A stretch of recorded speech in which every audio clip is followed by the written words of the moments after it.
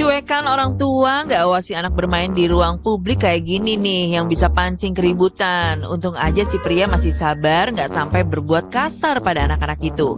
Dan pemirsa, perihal kenikmatan yang gagal dinikmati, tingkah pria ini pun bikin emosi deh. Gimana sih abang? Hati-hati dong pas buka wadah donatnya. Kan jadinya tumpah semua tuh donat. Gimana mau dinikmati? Udah ngiler donat gula padahal.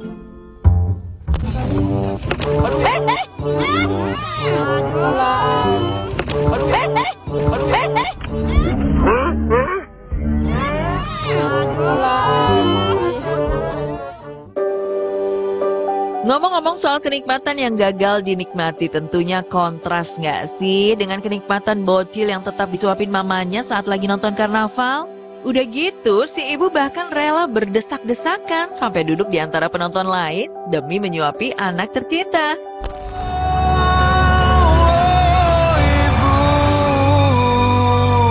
Terima kasih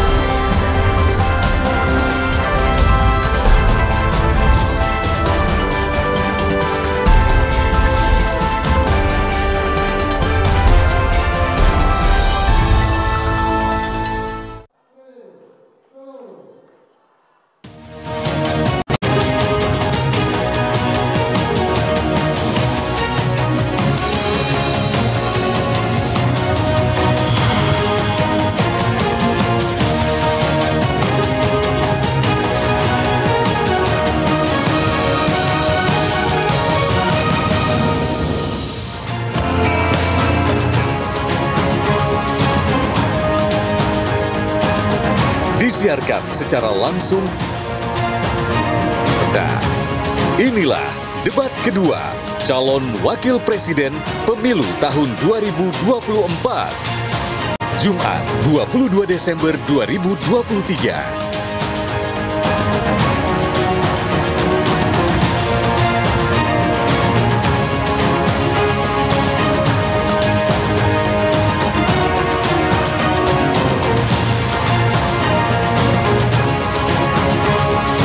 Hadirin sekalian, inilah moderator debat malam ini. Alvito Deanova Gintings dan Liviana Cerlisa.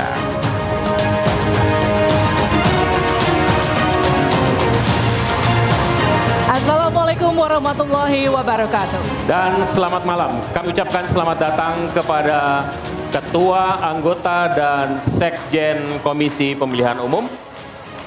Selamat malam dan juga selamat datang kami ucapkan kepada petinggi partai politik, petinggi kementerian dan juga lembaga, seluruh tamu undangan dan juga rekan-rekan media yang berbahagia. Kami senang dan bangga untuk dapat hadir di sini dan ikut serta secara aktif menjadi bagian dari demokrasi Indonesia. Mudah-mudahan malam hari ini ide, gagasan, dan semua upaya untuk meyakinkan Anda untuk menentukan siapa pilihan yang tepat dalam pemilu mendatang dapat terwujud. Dan ini merupakan bukan hanya memperkaya hasanah demokrasi kita, tapi juga menjadi referensi bagi Anda kelak. Ya, tentu kita semua juga berharap gagasan-gagasan yang terlontar dalam debat nanti akan jadi acuan dan juga solusi dalam membangun negeri ini. Malam ini kita akan menyaksikan bersama bagaimana tiga kandidat calon wakil presiden berbicara, saling bertanya, hingga beradu argumentasi dalam tema ekonomi kerakyatan dan digital, keuangan, investasi, pajak, perdagangan, pengelolaan APBN APBD, infrastruktur dan perkotaan. Bersama saya Liviana Cherly. Saya Alvito Dinova Gintings, inilah debat kedua calon wakil presiden pemilu 2024.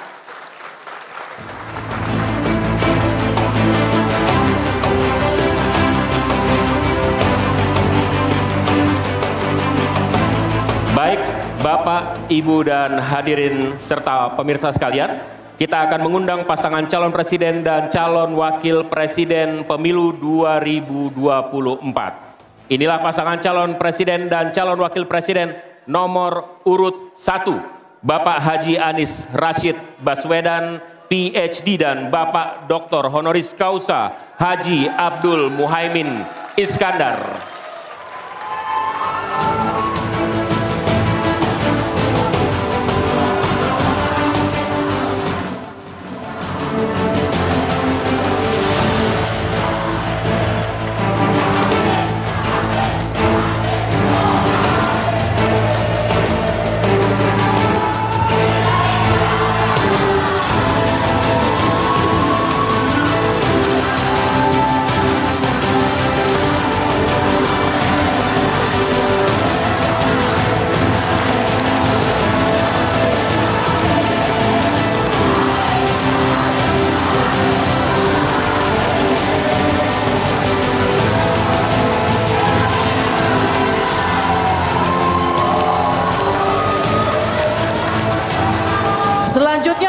Pasangan calon presiden dan calon wakil presiden nomor urut 2. Bapak Haji Prabowo Subianto dan Bapak Gibran Raka Buming Raka.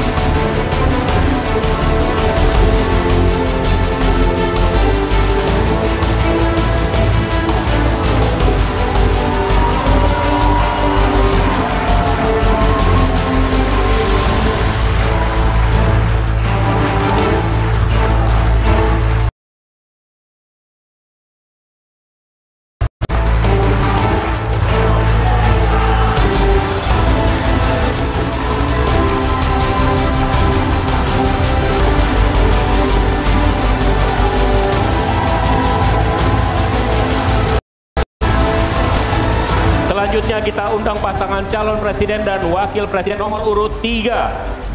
Bapak Haji Ganjar Pranowo SHMIP dan Bapak Profesor Dr. Haji Muhammad Mahfud MD.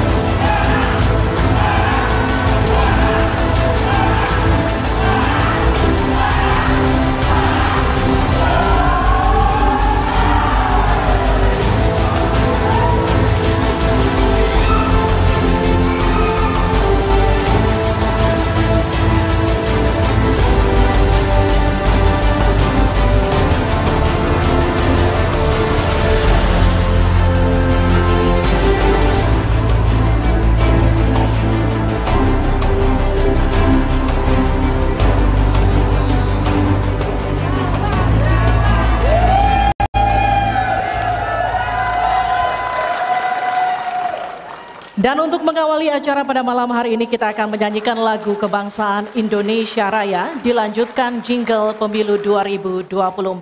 Bapak Ibu yang kami hormati dimohon untuk berdiri.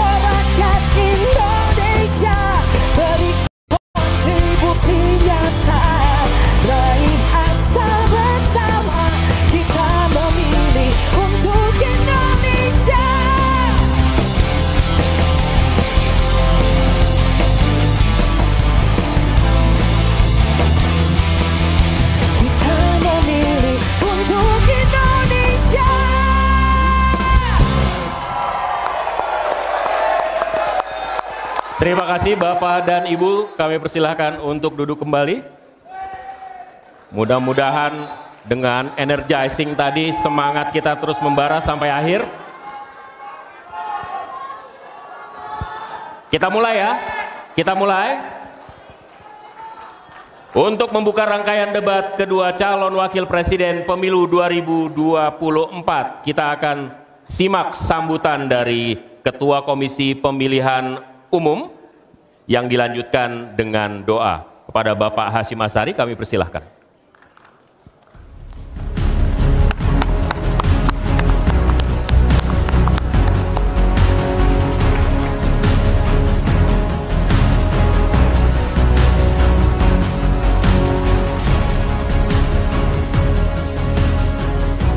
Assalamualaikum warahmatullahi wabarakatuh.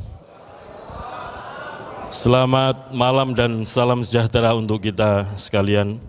Yang saya hormati para pimpinan partai politik peserta pemilu 2024. Yang kami hormati pasangan calon presiden wakil presiden nomor urut 1 Bapak Haji Anies Rashid Baswedan dan Bapak Haji Abdul Muhaimin Iskandar. Yang kami hormati pasangan calon nomor urut 2 Bapak Haji Prabowo Subianto dan Bapak Gibran Raka Buming Raka. Yang kami hormati pasangan calon presiden, wakil presiden nomor urut 3 Bapak Haji Ganjar Pranowo dan Bapak Haji Muhammad Mahfud MD yang kami hormati para anggota KPU beserta Sekjen KPU dan jajaran, yang kami hormati Ketua dan anggota Bawaslu, yang kami hormati Ketua dan anggota DKPP, yang kami hormati para panelis yang telah memberikan dukungan kepada KPU untuk menyusun daftar pertanyaan untuk debat kali ini.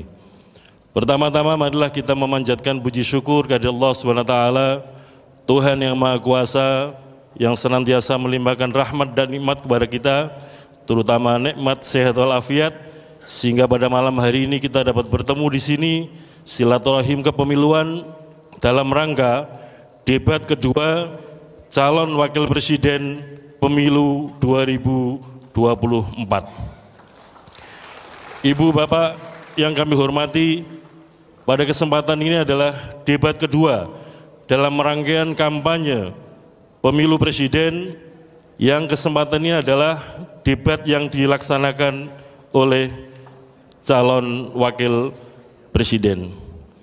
Mari kita bersama-sama menyimak, memperhatikan gagasan-gagasan, visi, misi, program masing-masing calon wakil presiden yang akan disampaikan kepada publik kepada masyarakat, kepada rakyat pemilih Indonesia.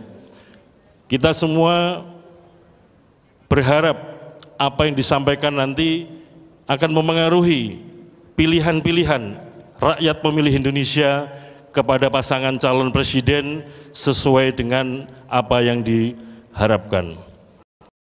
Sebelum kita mulai bersama, marilah kita sejenak menundukkan kepala, berdoa dan bermunajat kepada Allah SWT, Tuhan yang Maha Kuasa, dengan iringan doa, semoga apa yang kita kerjakan mendapatkan ridho dan rahmat dari Allah SWT, Tuhan yang Maha Kuasa, dan kita senantiasa diberikan kesehatan, kekuatan, dan kesabaran dalam menyelenggarakan pemilu 2024 ini.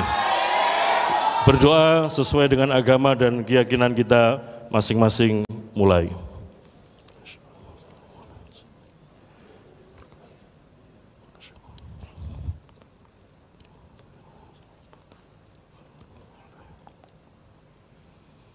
Berdoa selesai.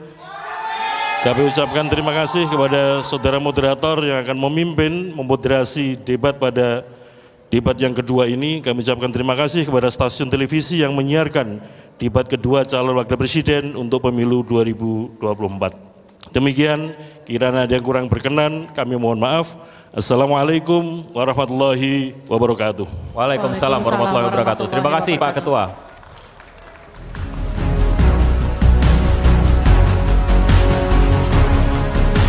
Bapak Ibu hadirin yang kami hormati, pada debat kedua calon wakil presiden pemilu 2024 terdapat 11 panelis. Kami mohon berkenan para panelis untuk berdiri ketika kami sebutkan namanya. Yang pertama Bapak A. Alamsyah Saragih, anggota Ombudsman RI periode 2016-2021.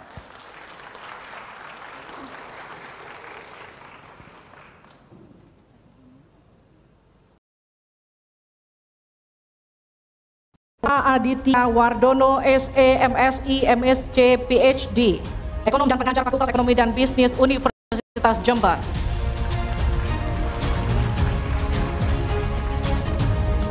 Dr. Agustinus Prasetyantoko, ekonom dan rektor Universitas Katolik Indonesia Atma Jaya tahun 2015-2023.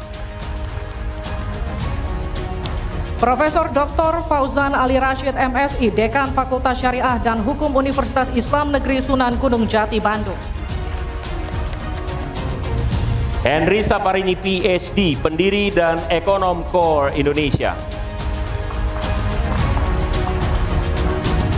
Profesor Dr. Dr. Andus Hieronymus Roa, MSI, Wakil Rektor Bidang Akademik dan Inovasi Institut Pemerintahan Dalam Negeri, IPDN.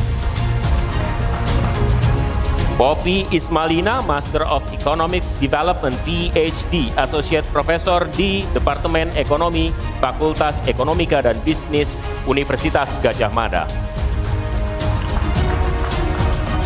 Dr. Retno Agustina Eka Putri, SE, MSc, Rektor Universitas Bengkulu 2021-2025.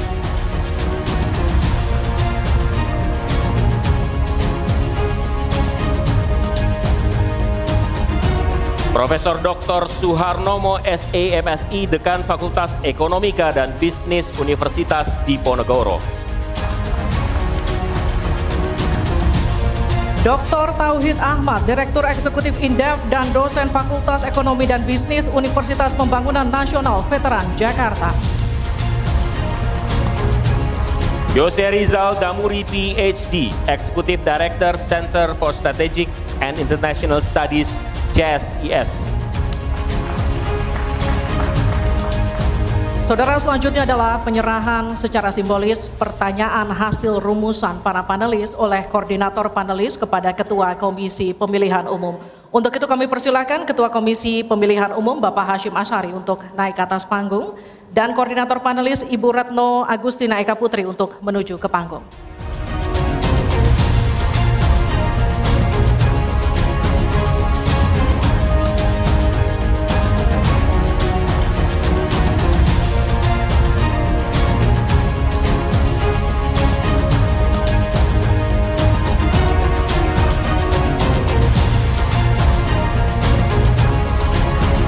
Kasih Pak Hashim dan Bu Retno. Silakan kembali ke tempat. Bapak Ibu hadirin sekalian, sebelum memulai debat kami memiliki tata tertib yang harus ditaati baik oleh hadirin yang ada di ruangan dan luar ruangan dan juga harus ditaati oleh para calon wakil presiden yang akan berdebat malam ini. Kita simak bersama tata tertib debat berikut ini. Ketentuan debat, tata tertib sebelum debat. Pakaian yang digunakan adalah bebas, sopan, dan rapi. Setiap tamu undangan harus menjaga ketertiban, keamanan, serta kebersihan dan tidak membawa barang-barang yang dilarang serta dapat membahayakan orang lain di lokasi debat. Yang dapat memasuki area debat hanya nama-nama yang sudah terdaftar dan memiliki undangan debat. Untuk pengantar, pendamping tamu VIP hanya diperbolehkan mengantar ke area debat. Tim kampanye pasangan calon menempatkan petugas yang dapat menjaga ketertiban dan keamanan selama debat berlangsung. Ketentuan debat, tata tertib. Saat debat berlangsung. Dalam debat, pendukung tidak diperkenankan membawa bahan kampanye dan alat peraga kampanye kecuali atribut yang melekat di badan. Selama acara debat berlangsung, tamu undangan wajib menjaga ketertiban dan tidak meneriakan yel-yel, slogan, dan melakukan intimidasi dalam bentuk ucapan maupun tindakan kepada pendukung pasangan calon, moderator, dan panelis. Selama debat berlangsung, handphone, alat komunikasi dalam kondisi hening dan dilarang mengaktifkan flashlight. Selanjutnya kami akan perkenalkan para calon wakil presiden pemilu tahun 2024. Calon wakil presiden nomor urut 1, Bapak Dr. Honoris Causa Haji Abdul Mohaimin Iskandar.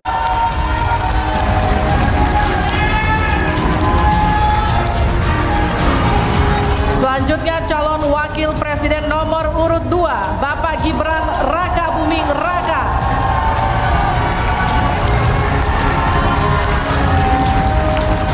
Selanjutnya calon wakil presiden nomor urut 3, Bapak Profesor Dr. Haji Mahfud MD.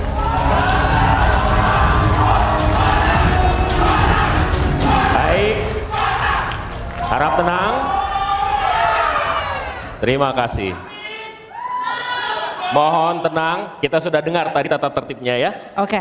Dan langsung saja kita mulai debat calon wakil presiden pemilu 2024 pada sesi pertama. Kita akan mendengarkan visi, misi, dan program kerja masing-masing pasangan calon yang akan disampaikan calon wakil presiden 2024. Jika pada debat pertama sebelumnya penyampaian visi misi dimulai dari paslon nomor urut 1, maka debat kali ini kami persilahkan calon wakil presiden nomor urut 2, Bapak Gibran Raka Buming Raka untuk menyampaikan visi misi dan program kerja. Kami persilahkan Pak.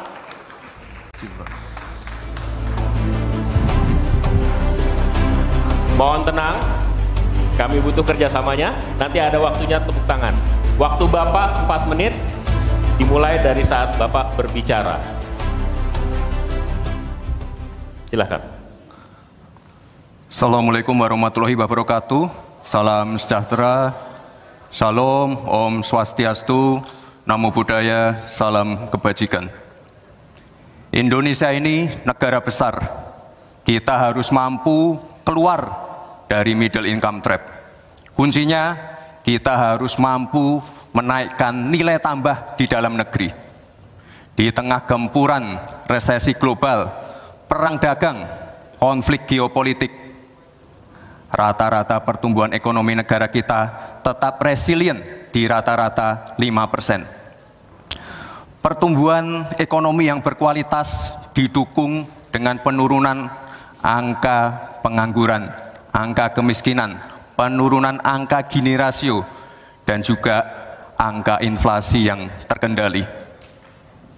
Bapak Ibu yang saya hormati, teman-teman sesama anak muda, lalu apa agenda ke depan? Kita akan lanjutkan hilirisasi, bukan hanya hilirisasi tambang saja, tapi juga hilirisasi pertanian, hilirisasi perikanan, hilirisasi digital, dan lain-lain. Kita lanjutkan juga pemerataan pembangunan yang tidak lagi Jawa sentris. Kita genjot terus ekonomi kreatif dan juga UMKM. Kita punya 64 juta UMKM yang menyumbangkan 61 persen untuk PDB kita. Jika empat langkah tadi bisa kita penuhi, insya Allah akan terbuka 19 juta lapangan pekerjaan. Pemerataan pembangunan itu wajib. Sekarang investasi yang ada di luar Jawa sudah ada 53 persen. Pembangunan IKN yang berkelanjutan ini akan membuka titik pertumbuhan ekonomi baru, akan membuka akses dan juga konektivitas sekaligus membuka lapangan kerja. IKN ini bukan hanya saja membangun bangunan pemerintahan, tapi juga sebagai simbol simbol pemerataan pembangunan di Indonesia dan juga sebagai simbol transformasi pembangunan Indonesia. Bapak dan Ibu yang saya hormati, saya juga berkeyakinan suatu saat nanti Indonesia akan menjadi raja energi hijau dunia dengan terus mengembangkan biodiesel, bioaftur dari sawit, bioetanol dari tebu sekaligus kemandirian gula. Untuk menuju Indonesia emas dibutuhkan generasi emas. Kita harus mampu merubah future challenge menjadi future opportunity.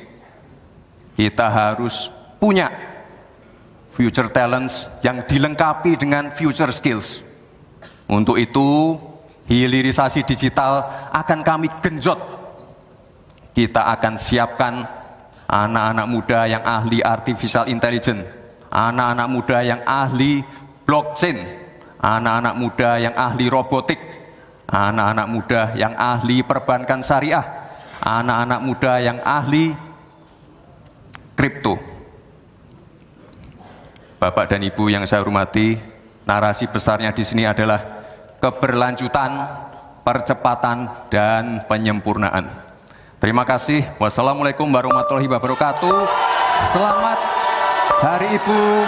Selamat untuk kaum perempuan hebat di Indonesia. Terima kasih. Baik, Waktu habis. terima kasih.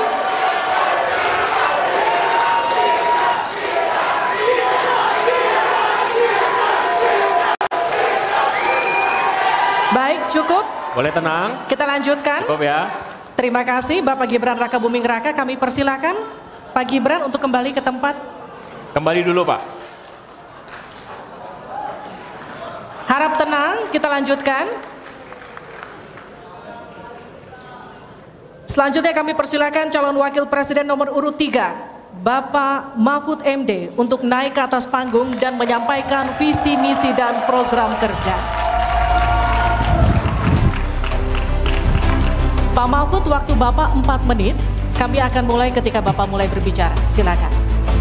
Assalamualaikum warahmatullahi wabarakatuh. Waalaikumsalam. Mari kita bersujud semuanya, saudara-saudara di seluruh Indonesia kepada ibu kita dalam rangka mengucapkan selamat Hari Ibu 22 Desember 2023 ini. Dan sesudah ini kita lanjutkan pengabdian kita kepada Ibu Pertiwi. Ada yang bertanya kepada kami, mungkin tidak Anda mentargetkan mendapat pertumbuhan ekonomi 7% di dalam satu tahun. Karena di dalam sejarah reformasi tidak pernah sampai tumbuh sebanyak 7%. Dulu hanya itu dicapai pada tahun 89 sampai 91 di era Orde Baru. Lalu pertanyaan itu saya sampaikan kepada beberapa orang ahli.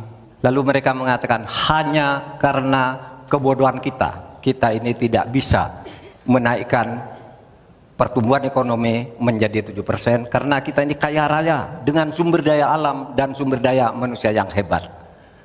Masalahnya apa? Masalahnya banyak korupsi dan inefisiensi di sektor-sektor pengembangan pertumbuhan ekonomi yaitu di sektor konsumsi, belanja pemerintah, ekspor impor dan investasi.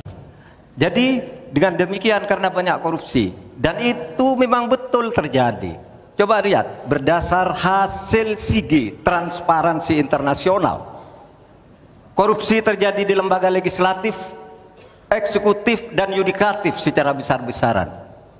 Korupsi juga terjadi di tiga metra alam kita ini. Kita menginjak bumi, ada korupsi di tanah dan pertambangan. Kita ke laut, ada korupsi di masalah kelautan. Kita melihat udara, pesawat terbang kita korupsi. Akibatnya apa? Rakyat miskin.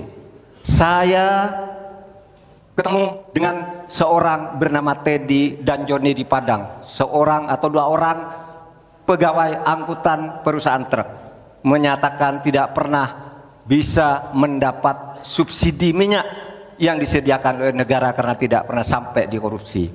Saya juga ketemu dengan seorang Sri Wulan anak kecil di Parongpong, Bandung Barat. Dia mengajak saya main layang-layang. Katanya, "Bapak, saya ingin terbang seperti layang-layang meraih cita, tapi saya tidak dapat." Kemudian saya ingat pulau saya Madura. Di Madura itu kaya dengan gas alam, tetapi sampai sekarang tidak pernah dioptimalkan untuk dimanfaatkan.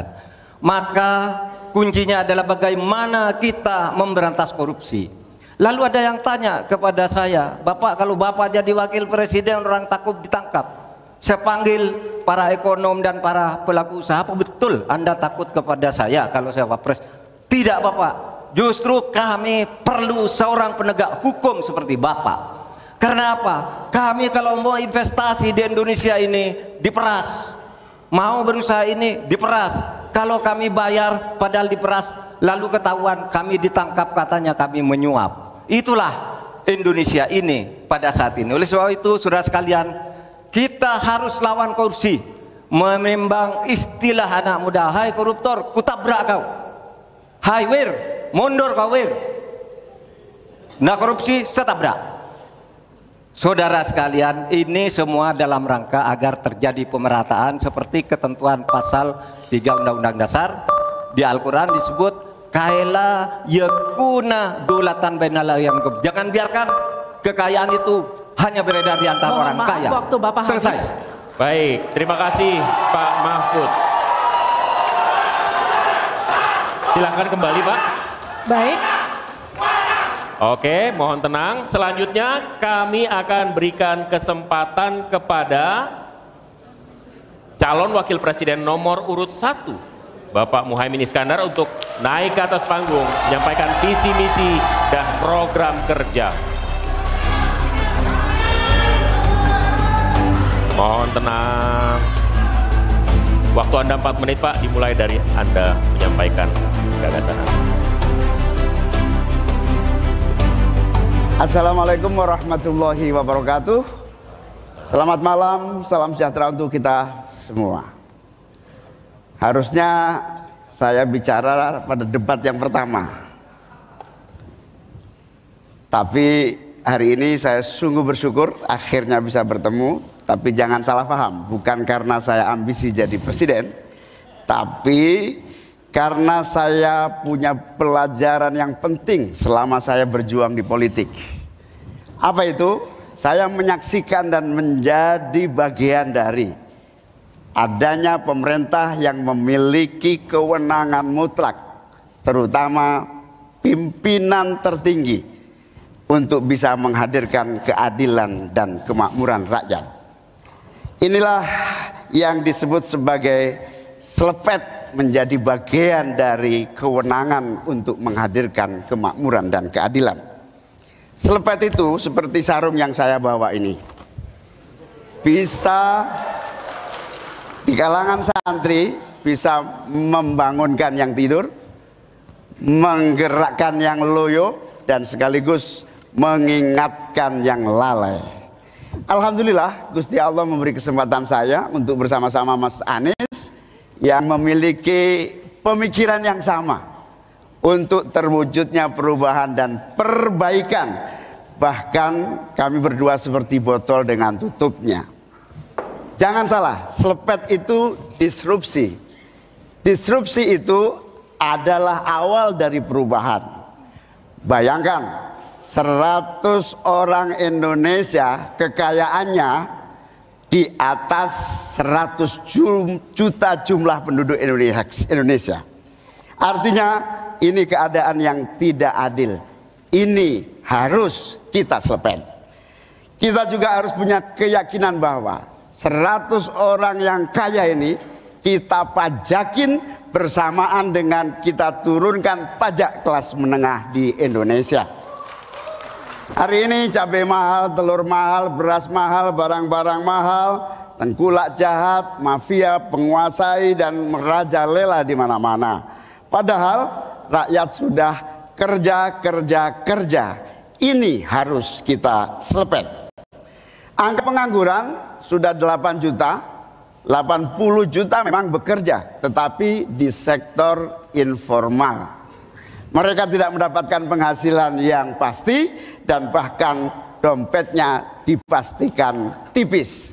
Ini yang harus kita selepet.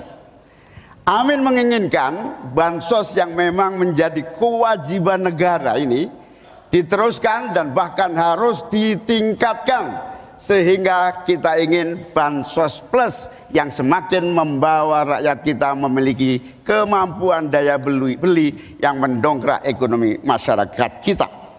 Insya Allah, Amin akan memastikan 5% anggaran dari APBN atau sekitar 150 triliun kita khususkan untuk kamu-kamu kaum muda Indonesia.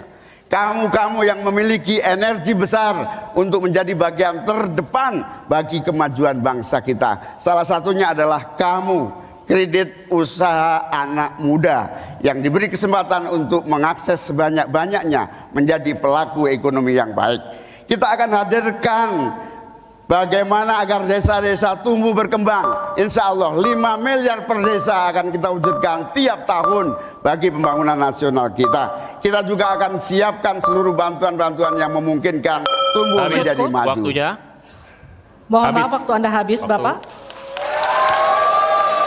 Terima kasih Pak, kasih. kembali ke tempat. Terima kasih. Berikan aplaus dan apresiasi untuk tiga calon wakil presiden yang sudah menyampaikan visi, misi, dan program mereka.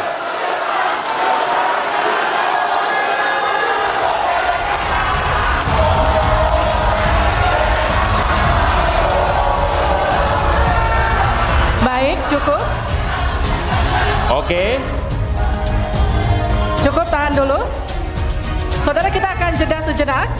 Dan usai jeda, pada segmen berikutnya kita akan memperdalam visi misi dan program kerja para calon wakil presiden yang telah disampaikan tadi. Untuk itu tetap bersama kami di debat kedua calon wakil presiden pemilu 2024.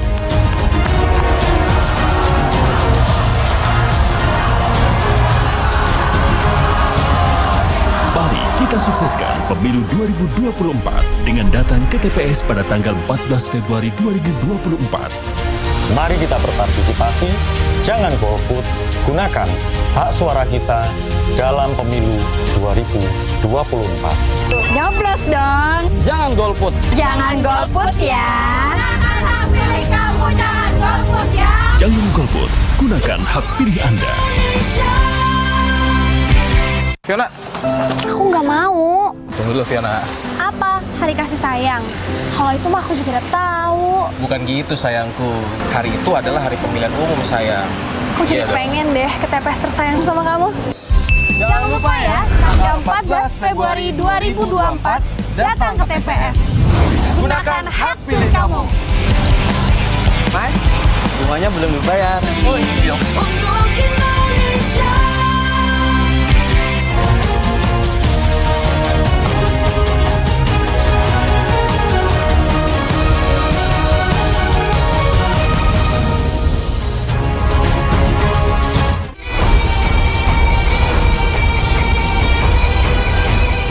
Rembes, netes, beresin pakai Nippon Elastex 3 in 1. Mitsubishi X-Force.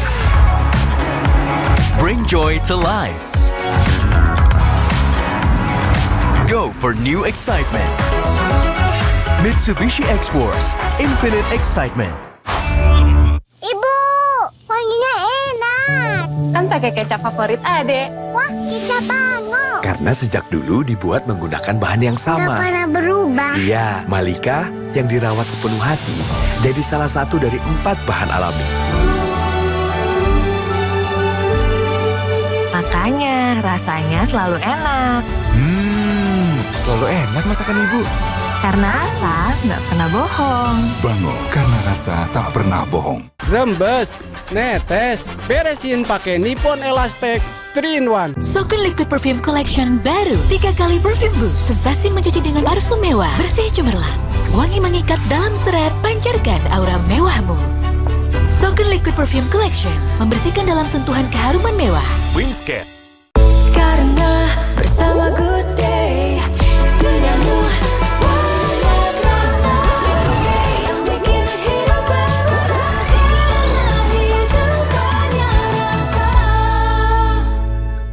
Cuacanya bikin gampang sakit. Bersyukur. Virus di mana-mana. Bersyukur beri susu tujuh kurma. Kebaikan susu steril dan kurma jadi satu. Beri susu steril tujuh kurma. Insya Allah double khasiatnya. Aku dulu pakai deterjen bubuk. Jadi walaupun baju bersih tapi tangan aku kasar. Enggak, aku nggak mau. Gentle tuh terbuat dari tumbuhan. Terus sertifikasi internasional. Cucian bersih, wangi, terus tangan tetap lembut. Udah, pindah aja ke Gentle Gen. Galon Le Mineral 100% bebas BPA. Aman untuk anak dan keluarga. Ciri galon bebas 14 BPA, bening transparan, ditandai kode segitiga nomor 1. Galon Le Mineral, untuk sehatnya keluarga. Molto bikin baju tampak baru. Kupakai lagi dan lagi. Baru Molto Parfum Plus Protect. Teknologi ultra care-nya 10 kali lindungi serat kain, 10 kali lebih wangi. Jaga bajumu selalu wangi dan tampak baru. Molto baru. Hei, dari mana kamu? Dari rapat OSIS, Bu. Bohong, kamu habis makan cumi kan? Pakai saus padang kan? Makanya guys, habis makan kiss dulu dong. Kiss, harum mewangi, habis makan. Satu, dua, tiga. Ketombe kering dan basah. Capek sama ketombe yang bikin drama? Clearin aja, pakai Clear terbaru. Dengan kekuatan 10 kali super vitamin. Sikat habis ketombe basah dan kering. Nggak khawatir ketombe basah dan kering. Buktikan sekarang. Aqua percaya akan kebijaksanaan dan keajaiban alam. Aqua berasal dari gunung-gunung terpilih, bukan tempat yang mudah tercemar. Aqua disaring oleh lapisan bebatuan pelindung tanpa proses rekayasa. Aqua mengandung mineral alami tanpa tambahan zat berbahaya. Sehingga Aqua terasa dingin tanpa didinginkan. Jelaskan kalau tak semua air itu Aqua, Aqua 100% murni.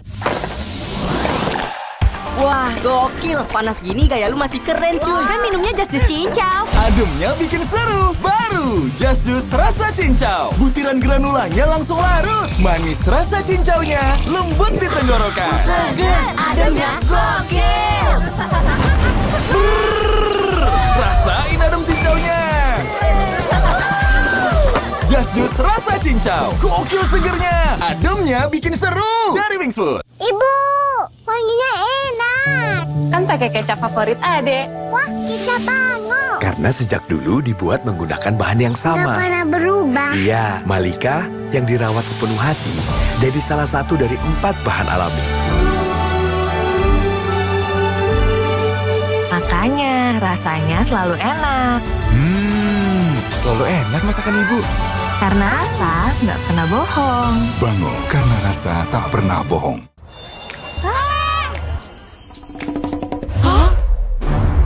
Pakai pemutih, tapi kok baju dia lebih putih? Oh, pemutih. Kami pakai Vanish White. Lupakan pemutih. Pakai Vanish White setiap kali cuci. Dengan inovasi Crystal White, nodanya hilang.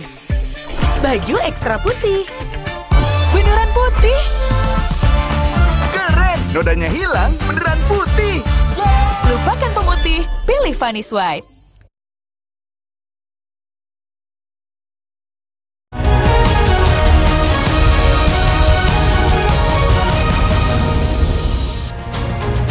Anda kembali menyaksikan debat kedua calon wakil presiden pemilu 2024. Bapak Ibu sekalian, calon wakil presiden akan menjawab pertanyaan yang telah dibuat oleh tim panelis. Ada 11 panelis yang disiapkan oleh KPU dan selama kurang lebih satu hari kemarin mereka menyiapkan sejumlah pertanyaan.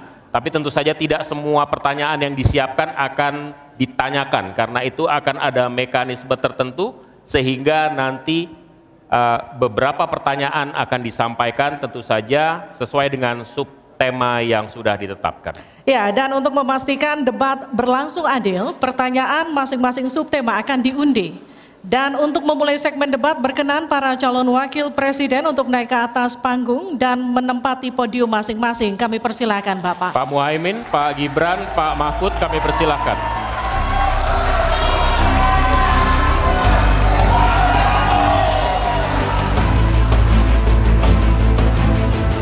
Pada segmen pertama penyampaian visi misi dimulai dengan calon wakil presiden nomor urut 2, maka di sesi ini kita mulai dengan calon wakil presiden nomor urut 3. Dan untuk itu kami persilahkan panelis Alam Syasaragi untuk mengambil subtema pertanyaan di dalam fishbowl, kemudian silahkan diperlihatkan ke calon wakil presiden dan juga moderator.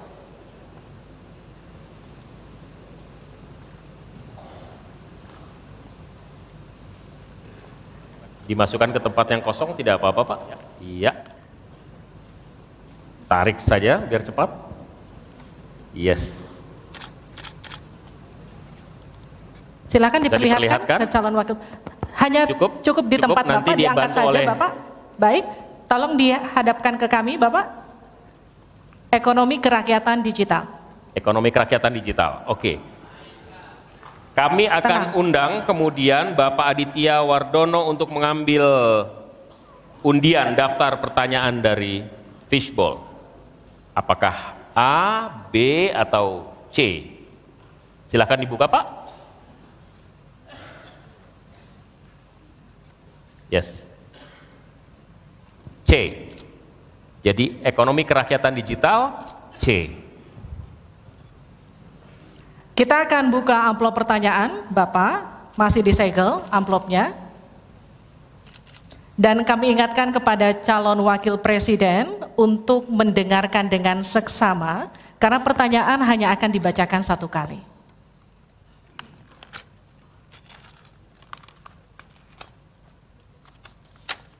Pertanyaan untuk calon wakil presiden nomor urut 3, Bapak Mahfud MD, terkait ekonomi kerakyatan dan digital. Digitalisasi membuka akses pasar yang lebih luas, tetapi juga berpotensi merugikan usaha mitra dan konsumen melalui penyalahgunaan data digital. Pertanyaannya, bagaimana kebijakan paslon untuk mengatasi hal tersebut? Waktu untuk menjawab dua menit dimulai sejak Bapak menjawab. Kami persilakan. Baik, kalau kebijakan data digital yang terakhir ini kita sudah punya dua undang-undang eh, yang baru yaitu undang-undang PDP dan undang-undang ITE yang baru saja diresmikan. Tapi lebih dari itu, menurut saya digital atau ekonomi digital ini tidak bisa dihindarkan oleh siapa pun. Oleh sebab itu, ya kita tidak bisa menolaknya, tetapi harus berhati-hati karena terjadi disrupsi yang luar biasa dalam perkembangan digital ini. Saya menangani kasus misalnya pinjol, di mana rakyat menjadi korban dari kegiatan ekonomi digital. Ada kripto misalnya. Kasus pinjol itu sendiri sungguh sangat problematik. Kenapa? Karena dia dibuat secara hukum perdata melalui gadget. Rakyat yang tidak tahu langsung bilang, kamu mau pinjam uang sekian? Yes. Bunganya sekian? Yes. Kalau tidak bayar sekian? Yes. Itu perdata. Dan itu banyak yang menjadi korban. Banyak yang sampai bunuh diri. Ada seorang dari Semarang, seorang guru, meminjam hanya 500 500 ribu, kemudian hutangnya menjadi 240 juta karena selalu bertambah bunganya. Kemudian ada yang sampai bunuh diri. Dalam hal pinjol ini ketika saya sampaikan ke Polri tidak bisa Pak, itu hukum perdata. Ketika saya sampaikan ke OJK, OJK bilang itu bukan kewenangan kami. Itu bukan kewenangan kami karena mereka ilegal, tidak terdaftar. Berkali-kali saya panggil kemudian saya undang dalam rapat bersama gabungan di Menko Polhukam kita nyatakan bahwa itu tindak pidana dan harus segera ditangkap. Itulah dalam sehari kemudian ditangkap 144 orang di hari itu juga. Sekian. Baik, tepat waktu. Selanjutnya kami berikan kesempatan kepada calon wakil presiden nomor urut satu untuk memberikan tanggapan atas jawaban yang disampaikan oleh Pak Mahfud tadi. Silahkan Pak Muhaimin, waktu Anda satu menit. Ya, benar sekali bahwa antara perkembangan teknologi digital dengan kemampuan UMKM kita masih terjadi gap. Oleh karena itu harus ditindaklanjuti Pak Mahfud. Sel sel selain pemberantasan pinjaman online, judi online, ini pun masih harus diselepet lagi karena tidak komprehensif di dalam menangani ini sehingga pinjol masih merajalela, judi online masih merajalela. Yang lebih penting dari itu Pak Mahfud bahwa sebetulnya kemampuan untuk masuk pada dunia digital membutuhkan bantuan dari pemerintah untuk turun tangan. Menangani apa? Mulai dari literasi digital untuk UMKM, yang kedua membantu push pemasaran bagi keberlangsungan UMKM menghadapi persaingan yang sangat ketat.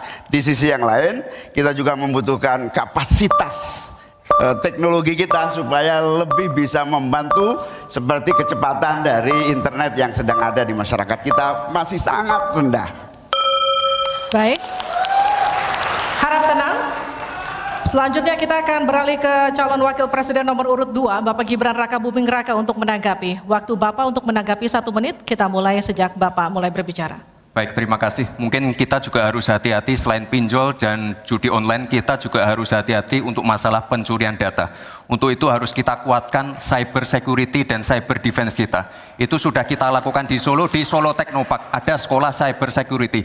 Dan yang perlu di tekankan lagi adalah bagaimana para-para e-commerce ini bisa comply dengan regulasi kita. Jadi sudah tidak ada lagi nanti ke depan yang namanya shadow banning, yang namanya price dumping, yang namanya barang-barang cross border yang membunuh UMKM kita. Kita ke depan harus melindungi UMKM dan kita ingin sekali lagi karena tadi Cak Imin bicara masalah literasi keuangan dan literasi literasi digital, ke depan yang kita siapkan harus ada penguatan SDM, penguatan manusia-manusia digitalnya. Karena itu kita ingin anak-anak muda untuk ikut andil dalam hilirisasi digital yang akan kita canangkan sebentar lagi. Mohon tenang, mohon tenang. Saya hargai jika kita semua kooperatif. Terima kasih. Saya berikan kesempatan kepada Pak Mahfud kembali untuk memberikan tanggapan atas tanggapan dari jawaban Bapak yang sudah disampaikan oleh Pak Muhaimin dan Pak Gibran. Waktu Anda satu menit untuk menanggapi, dimulai dari Bapak menyampaikannya. Alhamdulillah apa yang diusulkan, ditambahkan oleh Cak Imin dan Mas Gibran itu sudah ada di visi, misi kami semuanya. Tinggal baca itu. Misalnya, misalnya kalau bicara uh, infrastruktur agar bisa merata tapi aman. Kadangkala kita bicara infrastruktur itu hanya jembatan, rumah, gedung dan sebagainya. Padahal ada tiga infrastruktur yang harus dibangun. Satu infrastruktur fisik seperti yang sekarang ada, lalu infrastruktur regulasi, kemudian infrastruktur digitalisasi. Itu penting dibangun ke depan. Sama terkait dengan itu sudah ada juga cyber security. Bahkan saya sendiri yang memimpin rapat di Menko Polhukam dengan memanggil pihak-pihak yang terkait dengan tugas-tugas ini agar cyber security ke depan ditegakkan dengan sebaik-baiknya agar kita tidak selalu kecolongan selesai. Mohon tenang. tenang. Belum selesai. Belum selesai. Harap tenang. Oke, kita lanjut ya. Kita lanjutkan. Selanjutnya kita beralih ke pertanyaan kedua untuk calon wakil presiden nomor urut 1 Bapak Muhaimin Iskandar. Untuk itu kami persilakan panelis Bapak Agustinus Prasetyantoko untuk mengambil subtema pertanyaan Bapak. Di dalam fishbowl silahkan diperlihatkan selanjutnya ke calon wakil presiden dan ke moderator.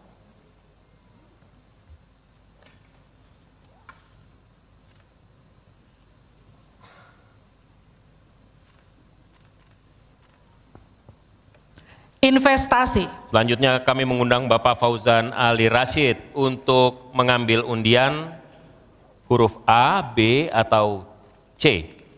Kita lihat. Huruf A. Baik, terima kasih Pak. Kita buka amplop sesuai dengan undian yang didapat dan kita lihat masih tersegel Bapak. Kami ingatkan kembali, untuk mendengarkan dengan seksama karena kami hanya akan membacakan pertanyaan satu kali.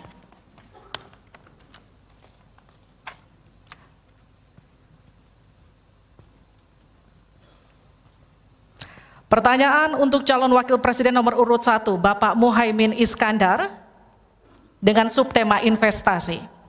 Kontribusi usaha menengah terhadap ekonomi kita sebesar 13 persen, sementara Thailand mencapai 18 persen dan Singapura 22 persen. Pertanyaannya, bagaimana strategi paslon meningkatkan investasi untuk usaha menengah dan mendorong usaha kecil naik kelas? Waktu Bapak untuk menjawab dua menit dimulai sejak Bapak berbicara. Silakan.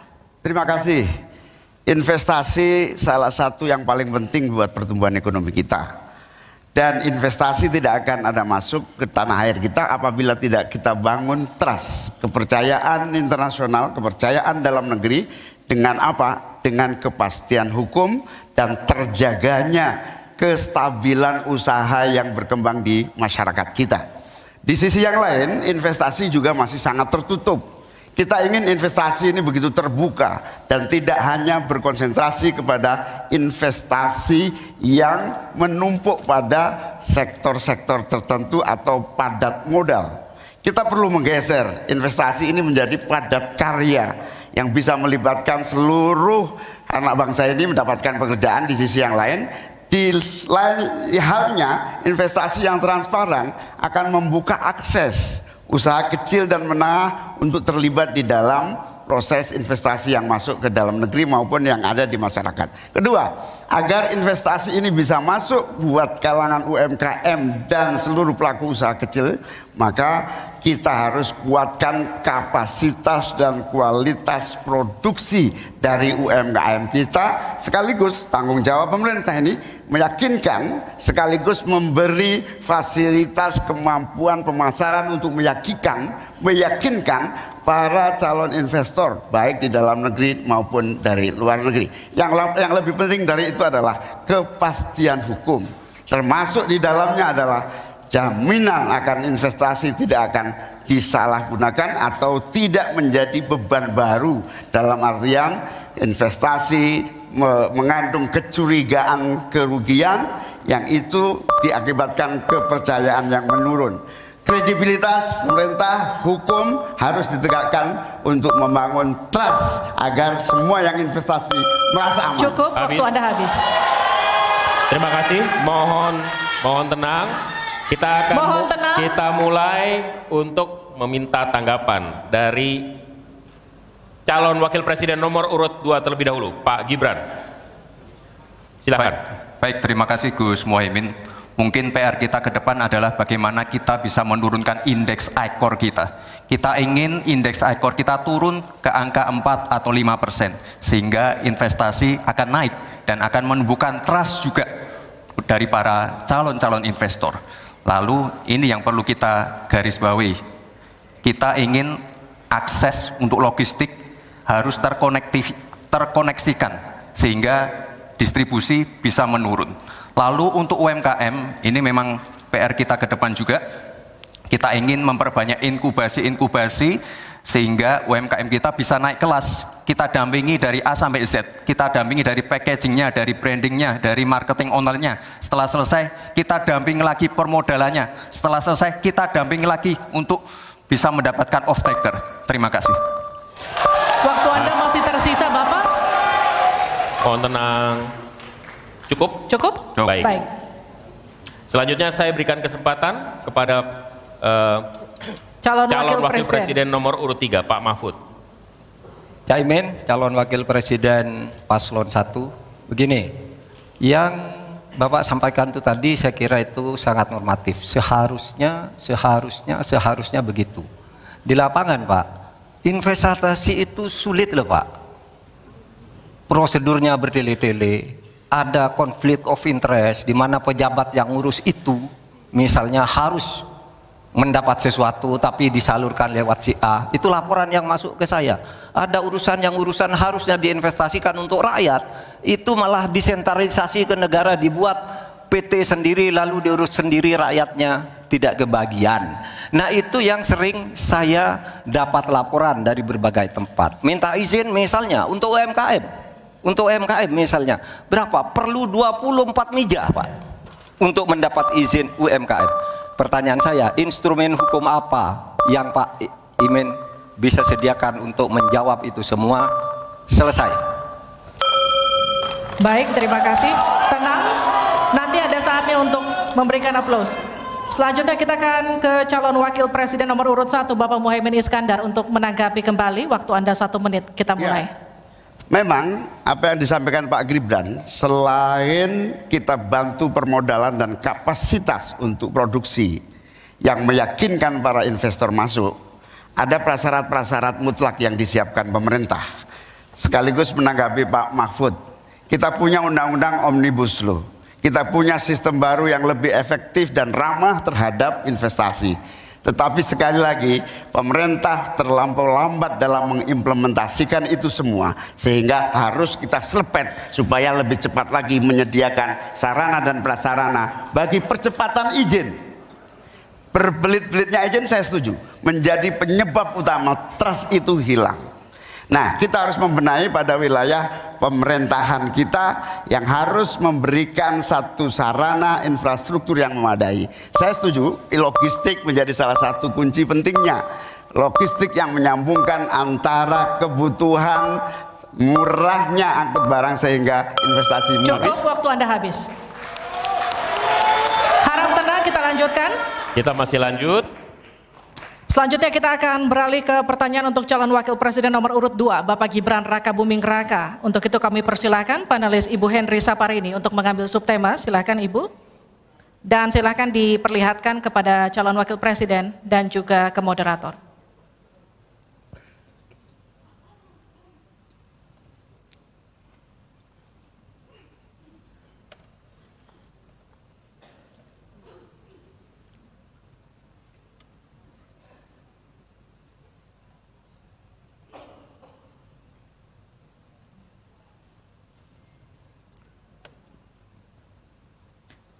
Keuangan pajak dan tata kelola APBN APBD. Baik, untuk selanjutnya Pak Hieronymus Rowa kami mohonkan untuk mengambil undian untuk mengetahui huruf apa yang akan muncul. B, ya. Baik, terima kasih. Kita akan ambil dan buka amplop pertanyaan sesuai dengan undian dan silahkan amplopnya masih tersegel. Kami ingatkan kembali, mohon disimak baik-baik karena kami hanya akan membacakan pertanyaan satu kali. Pertanyaan untuk calon wakil presiden nomor urut 2, Bapak Gibran Raka Buming Raka. Untuk subtema keuangan, pajak, pengelolaan APBN dan APBD. Hanya sepertiga APBN yang dapat digunakan untuk membiayai pembangunan. Padahal janji kerja program paslon memerlukan biaya tinggi. Pertanyaannya, mana yang menjadi pilihan prioritas anggaran? Pembangunan infrastruktur fisik atau pembangunan kualitas SDM dan ekonomi rakyat? Waktu Bapak untuk menjawab dua menit, kita mulai ketika Bapak mulai berbicara. Baik, terima kasih. Tidak semuanya harus menggunakan APBN. Contoh IKN, banyak yang gagal paham. Tidak 100% pembangunan IKN itu menggunakan APBN. Yang digunakan hanya 20%. Sisanya adalah investasi dari swasta dan investasi dari luar negeri. Ini yang banyak yang gagal paham. Lalu kita mengacu ke pertanyaan, infrastruktur fisik atau SDM, dua-duanya penting dan dua-duanya harus dijalankan secara paralel. Karena sekali lagi untuk menuju Indonesia emas dibutuhkan generasi emas. Kita butuh future talents yang menguasai future skills.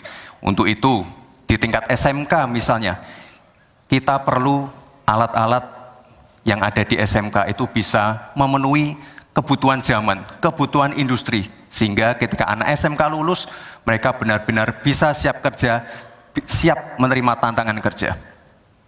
Lalu untuk fisik, tidak selalu harus dari APBN, sekali lagi. Bisa kolaborasi, misalnya dengan swasta, dengan CSR. Jadi tidak semuanya harus dibebani oleh APBN. Lalu apa PR kita ke depan? PR kita ke depan harus bisa menambah penerimaan negara. Untuk itu kami dari Paslon 2 akan membentuk lembaga badan penerimaan negara yang dikomandoi langsung oleh Presiden.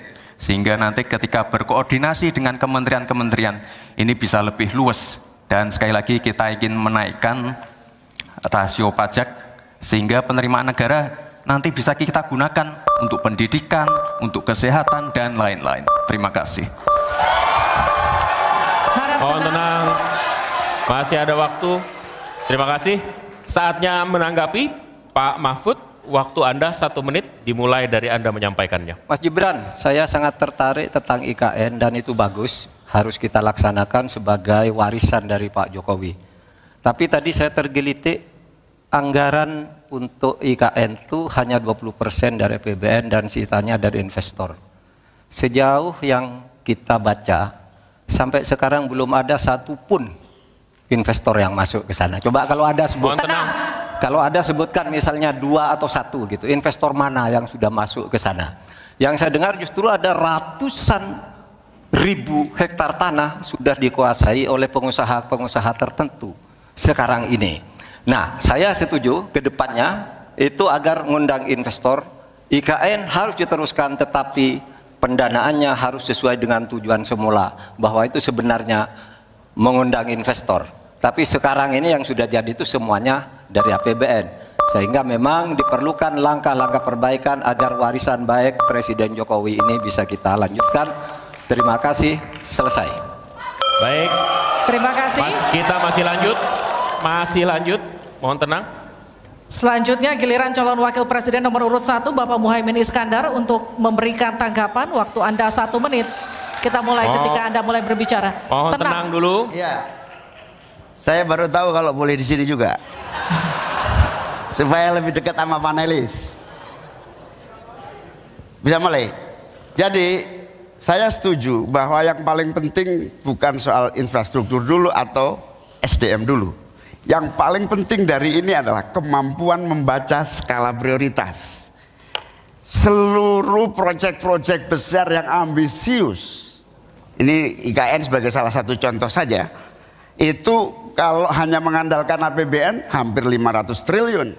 Padahal satu persen saja dari dari lima- 400 sekian triliun itu untuk bangun jalan seluruh Kalimantan beres, membangun seluruh kota-kota di Kalimantan beres.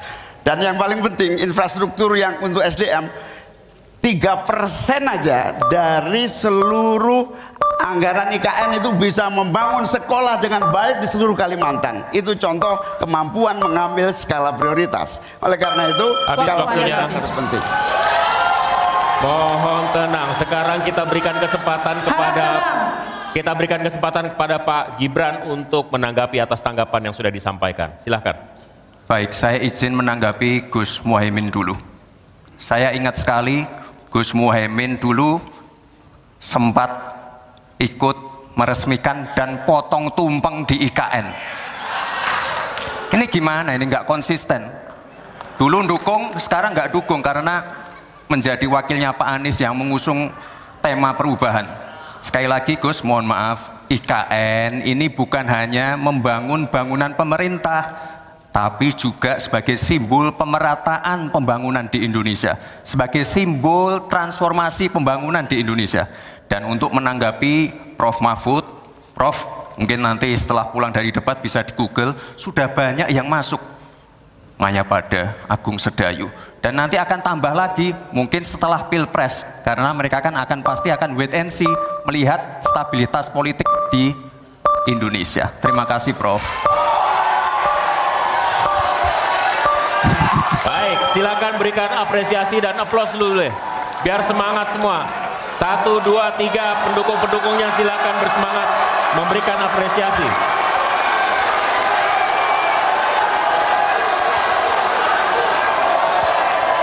Kita masih akan lanjutkan debat ini di sesi selanjutnya masih tentang uji panelis yang dilakukan dalam bentuk pertanyaan akan disampaikan. Tetaplah bersama kami di debat kedua calon wakil presiden pemilu, Pemilu 2024.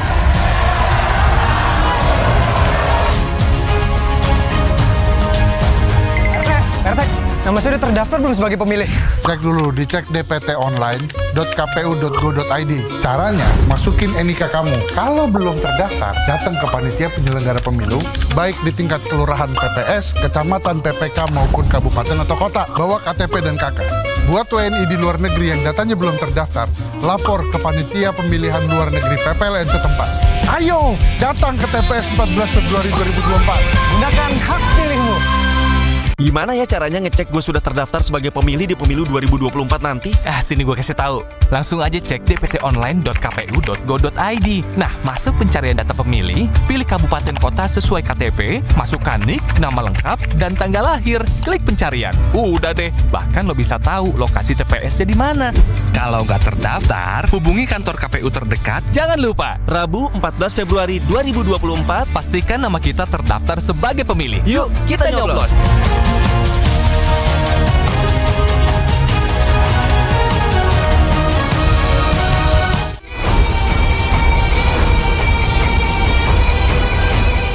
Rembes, netes, beresin pakai Nippon Elastex 3 in 1. Mitsubishi X-Force. Breathe the new adventure. Total control in all challenges. Mitsubishi X-Force. Infinite excitement. Yakin habis cuci muka udah bersih? Pakai micellar water nomor 1 dari Garnier. Dengan misol seperti magnet, 99% makeup bahkan kotoran yang tak terlihat tuntas terangkat. Tetap lembut tanpa rasa ketarik. Pakai micellar water dari Garnier. Galon Le Mineral 100% bebas BPA. Aman untuk anak dan keluarga. Ciri galon bebas BPA, bening transparan, ditandai kode segitiga nomor 1. Galon Le Mineral, untuk sehatnya keluarga. Jari disco karena ketombe basah? Masalahnya bukan di permukaan aja. Move on ke Head and Shoulders baru. Masuk hingga kelima lapisan. Kalahkan ketombe basah dan gatal. Head and Shoulders. Rembes, netes, beresin pakai Nippon Elastex 3 in 1. Flek hitam muncul lagi. Baru, Garnier Serum Vitamin C pagi dan malam. Setiap pagi, mencerahkan dengan cepat. Setiap malam, baru 10% vitamin C murni. Serum malam samarkan flek hitam dua kali lebih cepat. Kini hadir dengan harga lebih hebat. Alami di Garnier. Galon Le Mineral 100% bebas BPA. Aman untuk anak dan keluarga. Ciri galon bebas BPA, bening transparan, ditandai kode segitiga nomor 1. Galon Le Mineral, untuk sehatnya keluarga. Aku dulu pakai deterjen bubuk. Jadi walaupun baju bersih tapi tangan aku kasar. Enggak, aku nggak mau. Gentle tuh terbuat dari tumbuhan, terus sertifikasi internasional. Cucian bersih, wangi, terus tangan tetap lembut. Udah, pindah aja ke Gentle Gen. Makan gorengan yuk. Nggak boleh. Makan gorengan boleh. Kalau pakai Sanko. Sanko, minyak goreng baik. Paling bening dan lebih cair. Terbukti dengan tes organoleptik, mudah mengalir. Makan gorengan boleh kalau pakai Sanko. Dikit nempel di makanan. Ribet hindari matahari. Tapi masih bau matahari. Mungkin itu ketombe basah. Move on ke Head and Shoulders Lemon Segar. Efektif kalahkan ketombe basah. 100% pede, segar sepanjang hari. Head and Shoulders. Sokun Liquid Perfume Collection baru. Tiga kali perfume boost. Sensasi mencuci dengan parfum mewah. Bersih cemerlang. Wangi mengikat dalam serat. Pancarkan aura mewahmu. Sokun Liquid Perfume Collection. Membersihkan dalam sentuhan keharuman mewah. Wingscat. Makan gurih ketemu teh pucuk harum, beuh, hausnya hilang. Apalagi makan yang pedes-pedes. Segarnya bikin nyes. Cuma teh pucuk harum dari pucuk teh pilihan. Teh pucuk harum. Yakin habis cuci muka udah bersih? Pakai micellar water nomor 1 dari Garnier. Dengan misol seperti magnet, 99% makeup bahkan kotoran yang tak terlihat tuntas terangkat. Tetap lembut tanpa rasa ketarik. Pakai micellar water dari Garnier. Aku dulu pakai deterjen bubuk. Jadi walaupun baju bersih tapi tangan aku kasar. Enggak, aku nggak mau. Gentle tuh terbuat dari tumbuhan, terus sertifikasi internasional. Cucian bersih, wangi, terus tangan tetap lembut. Udah, pindah aja ke Gentle Gen. Tempo Scan Group. Bukan nama sebuah majalah. Banyak yang mengira kami hanya memproduksi produk farmasi. Faktanya, kami juga memproduksi produk konsumen, produk nutrisi, dan kosmetik. Ekuitas merek kami telah menjadi market leader. Temposcan juga memiliki belasan fasilitas produksi yang tersebar di berbagai wilayah Indonesia. Hampir semua produk kami diproduksi di dalam negeri. Jaringan distribusi kami mampu menjangkau seluruh wilayah kepulauan Indonesia. Dan Malaysia, Thailand, Filipina, bahkan Afrika. Menghadirkan produk-produk berkualitas dengan harga terjangkau. Selama 70 tahun membangun integrated business ecosystem berkat kerja keras dan dedikasi 12.000 karyawan Temposcan.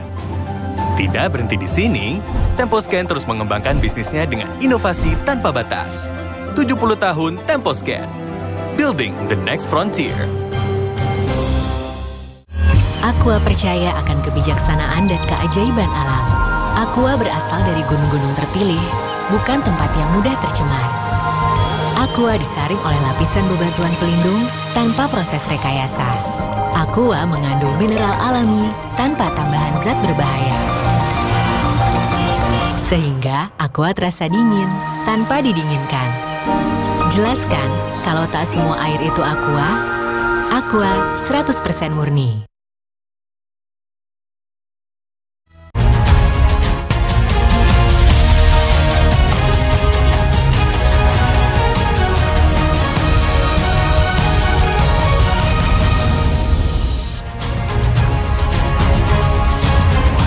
Masih di debat kedua calon wakil presiden pemilu 2024 kami undang Pak Muhaimin, Pak Gibran dan Pak Mahfud untuk tetap ada di podium. Kita masih akan lanjutkan pendalaman visi dan misi. Pak, Kami silakan, silakan maju. kembali Pak Muhaimin, Pak Pak Mahfud. Gibran, dan Pak Mahfud untuk kembali Kita masih dalam podium. sesi pendalaman visi misi program kerja Harap tenang. melalui pertanyaan yang telah dibuat oleh para panelis. Dan untuk segmen ini pertanyaan dimulai untuk calon wakil presiden nomor urut 1, Bapak Muhaimin Iskandar. Untuk itu kami persilahkan panelis untuk mengambil undian subtema di dalam fishbowl. Kami persilahkan Ibu Popi Ismalina untuk mengambil dan memperlihatkan ya kepada calon wakil presiden dan moderator.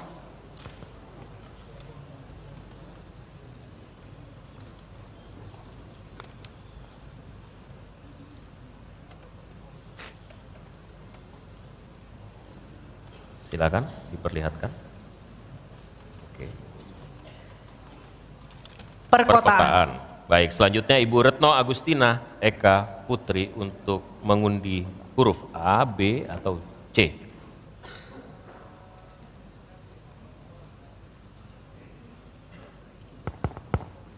Silahkan diperlihatkan huruf B.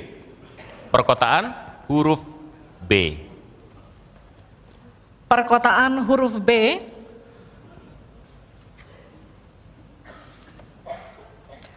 Kita akan buka amplop pertanyaan yang masih disegel. Dan kami kembali ingatkan kepada para calon wakil presiden untuk mendengarkan dengan seksama karena kami hanya akan membacakan pertanyaan satu kali. Pertanyaan untuk calon wakil presiden nomor urut 1, Bapak Muhaimin Iskandar. Dengan subtema perkotaan. 56% penduduk Indonesia tinggal di perkotaan dan mencapai lebih dari 70% di tahun 2045. Permasalahan akan semakin kompleks, seperti transportasi publik, sampah, dan kawasan kumuh. Pertanyaannya, bagaimana strategi paslon menyiapkan instrumen fiskal khusus untuk mengatasi masalah tersebut? Waktu Bapak untuk menjawab dua menit. Kita mulai ketika Bapak mulai berbicara. Silakan. Terima kasih. Perkotaan ini menjadi kebutuhan untuk terus menjadi bagian dari pembangunan nasional kita. Di antara kebutuhan pokok dari perkotaan ini adalah infrastruktur yang memadai.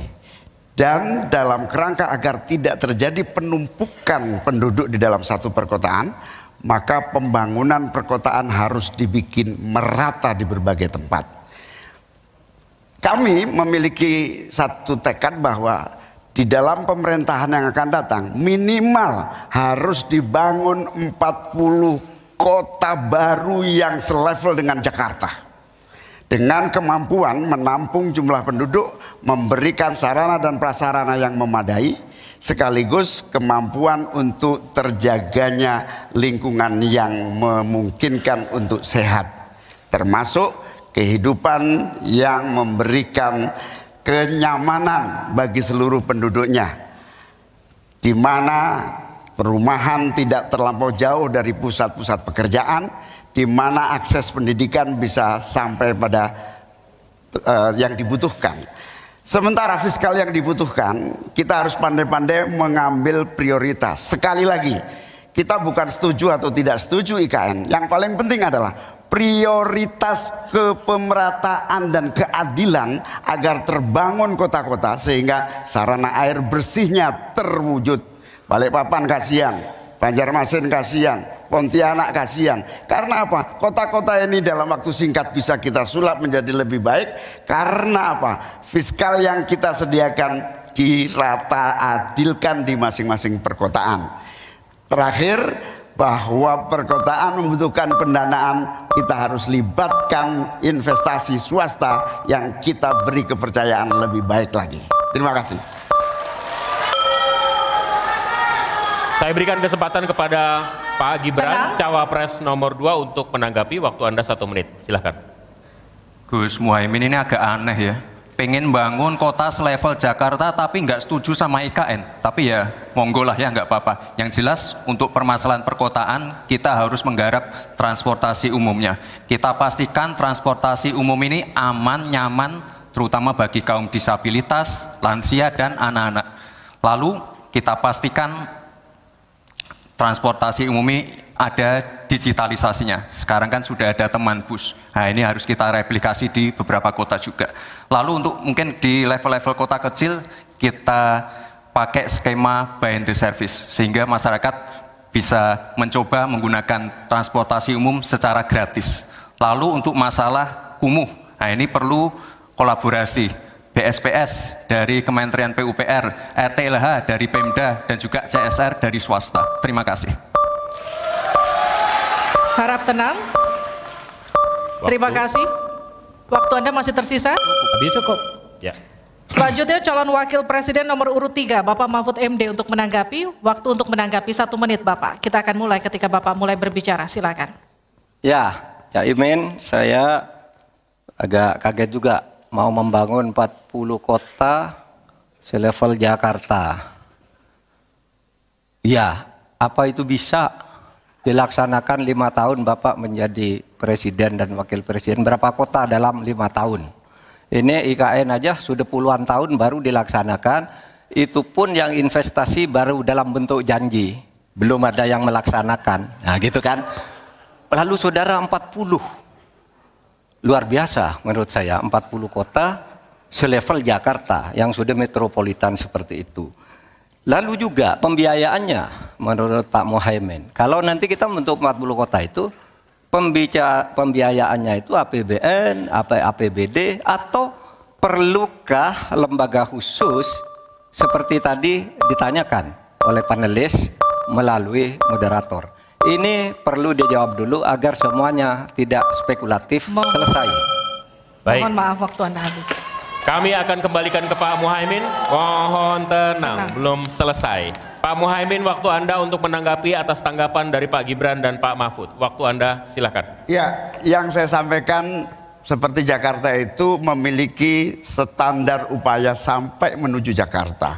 Di mana tentu kota-kota yang potensial cukup disentuh dengan beberapa anggaran yang menumbuh kembangkan. Misalnya Pontianak, satu tahun cuma satu triliun. Bagaimana kalau satu tahun kita bisa investasikan pengembangan kota hingga 3 triliun, 5 triliun. APBN kita cukup. Apalagi kalau seperti yang sampaikan Pak Gibran tadi, melibatkan berbagai cara pembiayaan yang melibatkan baik itu swasta maupun CSR. Jadi apa yang saya sampaikan selevel Jakarta itu target utama. Tetapi yang lebih penting dari itu adalah infrastruktur yang dibutuhkan dipersiapkan dari potensi yang sudah ada. Sehingga dalam waktu singkat kota-kota 40 kota itu benar-benar sudah menggunakan potensi yang sudah dimiliki yang, yang ada. Habis. Harap tenang, nanti kita akan berikan waktu untuk aplaus. Selanjutnya kita akan beralih ke pertanyaan untuk calon wakil presiden nomor urut 2, Bapak Gibran Raka Buming Raka. Tenang. Untuk itu kita akan persilakan panelis Bapak Suharnomo untuk mengambil undian subtema kelima dalam Fishbowl. Silakan diperlihatkan ke calon wakil presiden dan ke moderator Bapak.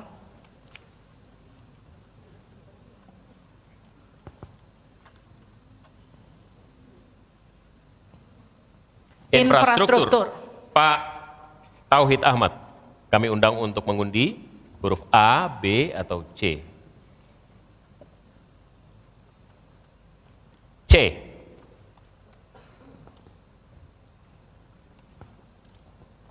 Infrastruktur huruf C. Masih tersegel Bapak.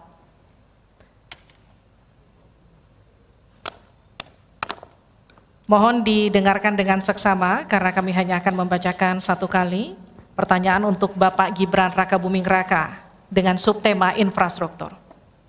Dalam lima tahun biaya infrastruktur pada proyek strategis nasional sebesar 2.385 triliun rupiah dari APBN. Sementara untuk infrastruktur sosial seperti sanitasi dan air bersih masih memprihatinkan. Pertanyaannya, bagaimana strategi paslon untuk memastikan penyediaan infrastruktur sosial tanpa membebani keuangan daerah? Waktu Anda untuk menjawab dua menit, kita akan mulai ketika Anda berbicara. Silakan. Baik, terima kasih. jika kita bicara masalah sanitasi dan air bersih, ini nanti nyambung ke masalah stunting. Untuk masalah sanitasi, ini perlu kolaborasi banyak pihak. Misalnya apa yang sudah saya lakukan di Solo. Kita membangun IPAL komunal di perumahan padat penduduk. Ini penting sekali. Lalu untuk kebutuhan air bersih, kita juga bekerja sama dengan kabupaten sekitar, misalnya dengan Monogiri, Klaten, untuk mendapatkan air bersih. Kita juga sekarang sudah ada proyek strategis nasional, membangun beberapa bendungan dan embung. Ini nanti juga penting untuk meneruskan program eh, pengairan nasional yang nanti berguna untuk pengadaan air bersih dan juga untuk mengairi sawah. Ke depan, masalah sanitasi dan air bersih ini penting sekali. Karena kami dari paslon nomor 2 ingin menyiapkan generasi-generasi emas yang sehat dan pintar. Kalau kita mengintervensi masalah stunting, kita juga harus mengintervensi tempat tinggalnya juga. Kita tidak bisa hanya memberikan gizi tambahan untuk ibu hamil dan lain-lain, tapi kita tidak menyentuh rumah tinggalnya. Jadi ini harus dikerjakan secara paralel. Stunting kita kerjakan, pemenuhan gizi kita kerjakan, sanitasi, drainase, air bersih, kawasan kumuh, ini harus kita selesaikan juga secara paralel. Terima kasih. Masih ada waktu? Cukup Pak? Cukup. Baik, saya berikan waktu untuk Pak Mahfud untuk menanggapi jawaban dari Pak Gibran.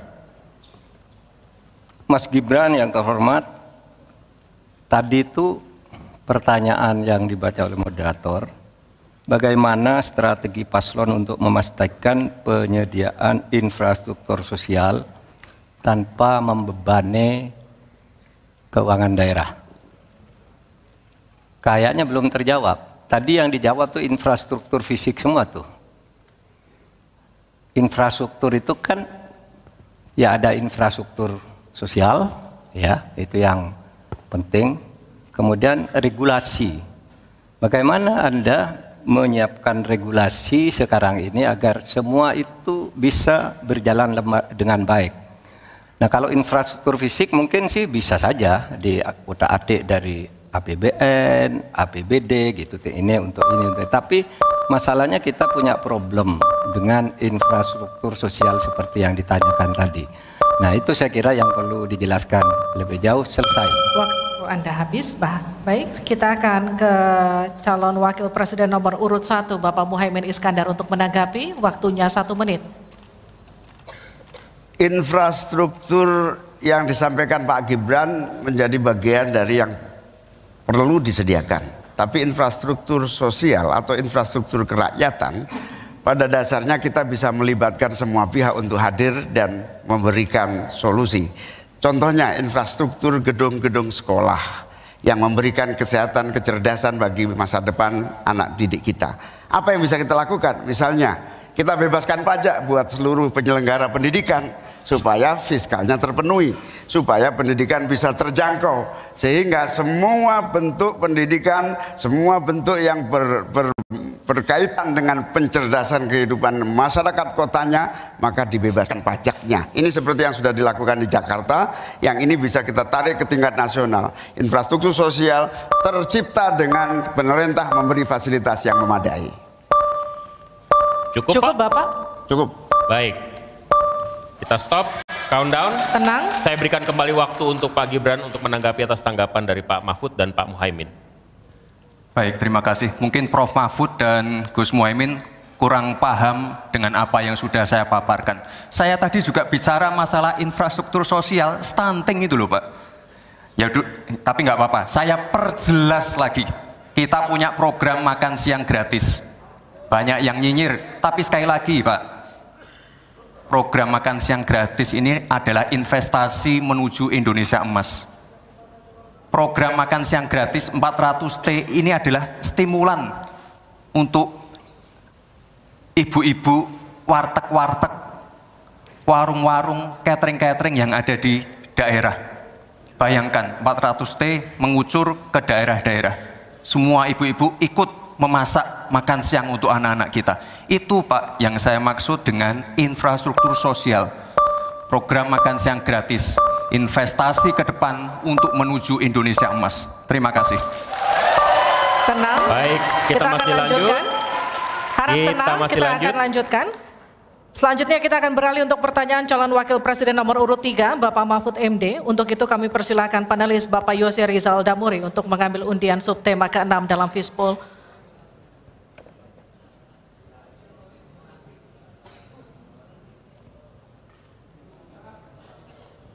Silakan diperlihatkan ke calon wakil presiden dan ke moderator.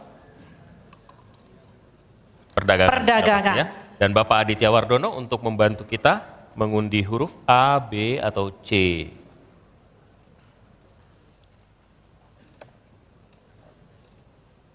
Perdagangan C. Terima kasih. Perdagangan huruf C, Pak Mahfud. Masih tersegel.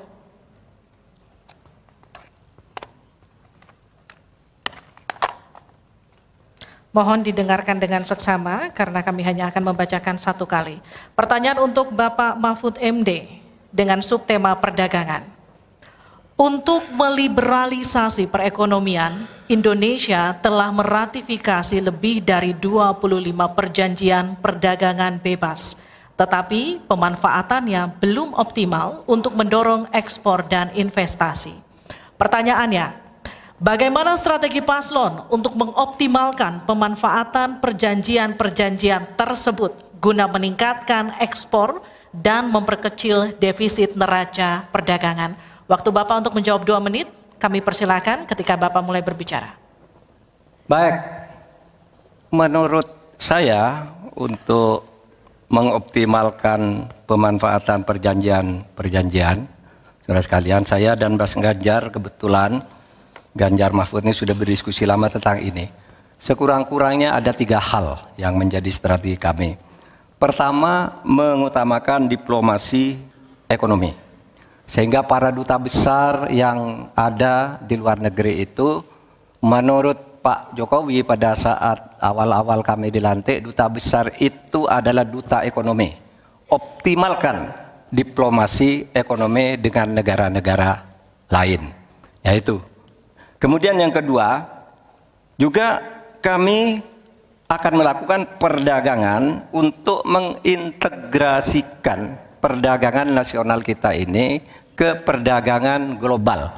Sehingga memenuhi standar-standar internasional untuk setiap apa yang kita punyai mau dimasukkan ke dunia global itu sudah jelas standarnya bisa diterima gitu. Dan kita juga membuat regulasi di sini agar tidak misalnya upaya perdagangan kita lalu diblokir atau dicurangi oleh teman-teman kita sendiri pelaku-pelaku ekonomi di dalam yang berintegrasi atau berkoalisi dengan pejabat-pejabat publik. Kemudian, saudara kalian, kami akan mengutamakan penguatan ekonomi nasional agar ekonomi nasional itu juga bisa tumbuh ke dalam sehingga nantinya masuk dengan strategi kedua tadi bahwa kualitas barang dagangan kita itu bisa diterima di luar negeri dan produktif sehingga juga tidak susah misalnya untuk diterima oleh dunia internasional. Saya kira itu bagian strategi yang sudah kami diskusikan dan selesai. Terima kasih Pak Harap tenang. Saya persilakan Pak Muhaimin untuk menanggapi jawaban dari Pak Mahfud tadi. Ya, Pak Mahfud kalau diplomasi sebagai pemasaran itu normatif ya. Ini sudah menjadi pengetahuan umum. Yang paling penting itu adalah bagaimana nyelepet para diplomat berubah wajah menjadi pemasar-pemasar yang tangguh. Diplomasi pemasaran yang ekspansif itu tidak kita miliki. Karena memang seluruh cara kerja diplomasi kita masih politik dan sangat normatif. Yang kedua, kita bisa hadir di dalam dunia perdagangan global kalau kualitas produksi dalam negeri kita juga punya standar yang baik. Saya sampai hari ini sangat prihatin. Kita tidak ada satupun yang terus mengupgrade secara masif kualitas dan standar semuanya kayak dibiarkan tumbuh sendiri-sendiri gitu. Tidak ada satu gerakan yang lebih terstruktur baik dari Menteri Perdagangan, Menteri Koperasi UKM dalam satu gerakan meningkatkan kualitas berstandar internasional. Cukup Bapak? Harap tenang. Selanjutnya kita akan ke calon wakil presiden nomor urut 2, Bapak Gibran Raka Buming Raka untuk menanggapi waktunya satu menit, silahkan. Baik, terima kasih. Paslon nomor 1 dan 3 sudah bicara masalah diplomasi. Saya akan memberikan solusi yang konkret aja. Paling konkret. Hilirisasi. Kita jangan mau lagi mengirim barang mentah. Kita harus mampu meningkatkan nilai tambah dalam negeri. Saya kasih contoh nikel. Dulu sebelum ada hilirisasi, kita ekspor hanya 3 miliar US dollars. Sekarang setelah hilirisasi bisa menjadi 33 miliar US dollars. Ini saya baru bicara masalah nikel loh Pak. Belum bicara masalah tembaga, boksit, timah, dan lain-lain. Konkret, jelas, singkat, padat, jelas. Terima kasih. Waktu Anda masih tersisa? Cukup? Cukup Bapak? Cukup. Baik. Baik. Kami kembalikan ke Pak Mahfud untuk menanggapi. Ya. Baik, terima kasih. Ini masalah diplomasi. Diplomasi Harap itu tenang. normatif. Mohon Nah, tenang. Sebenarnya, saudara sekalian, kalau diplomasinya selama tidak jalan, saya kira sistem rekrutmen diplomat sekarang ini harus ditinjau ulang. Dulu-dulu diplomat-diplomat kita tuh bagus. Ya, sekarang ini kadang-kala ada titipan dari partai. Kalau belum dari partai belum masuk itu tidak disahkan di DPR partai ini belum masuk. Nah sesudah bertugas tidak jelas, dia tidak ngerti, tidak punya pengertian dasar-dasar diplomasi. Sehingga kalau saya diberi kewenangan, nah, nanti diplomasi ini diatur kembalilah rekrutmennya itu. Betul-betul orang yang memenuhi syarat. Nah soal hilirisasi itu sudah masuk sebenarnya Mas Gibran. Saya tadi kan bicara soal penguatan ketahanan ekonomi nasional. Itu di dalamnya memang sudah ada hilirisasi dan industrialisasi yang aman lingkungan. Itu selesai. Terima kasih kita berikan apresiasi untuk ketiga presiden kita di pemilu 2024 dan kami persilakan para calon wakil presiden untuk kembali ke tempat duduk masing-masing. Silakan Bapak. Di segmen selanjutnya, ini seharusnya segmen yang kita tunggu-tunggu karena setelah ini mereka akan saling bertanya dan memberikan tanggapan. Interaksi antar kandidat akan dapat Anda saksikan di segmen selanjutnya dalam debat kedua calon wakil presiden pemilu 2024. Perempuan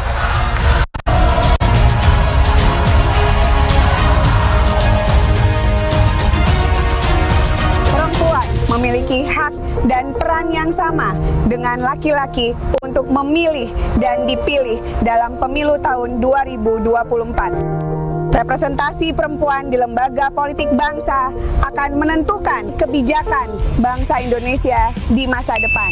Ayo, kita jadi perempuan cerdas. Jangan sia-siakan hak pilih kita dalam pemilu tahun 2024. Semua manusia derajatnya sama di hadapan Sang Pencipta. Kami punya hak yang sama dengan kalian untuk menentukan masa depan bangsa.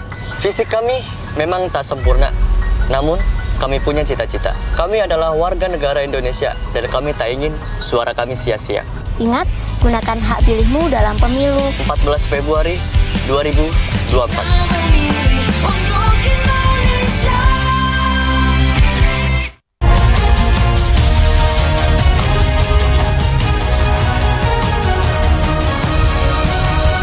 Aku udah berdamai dengan diri aku sendiri.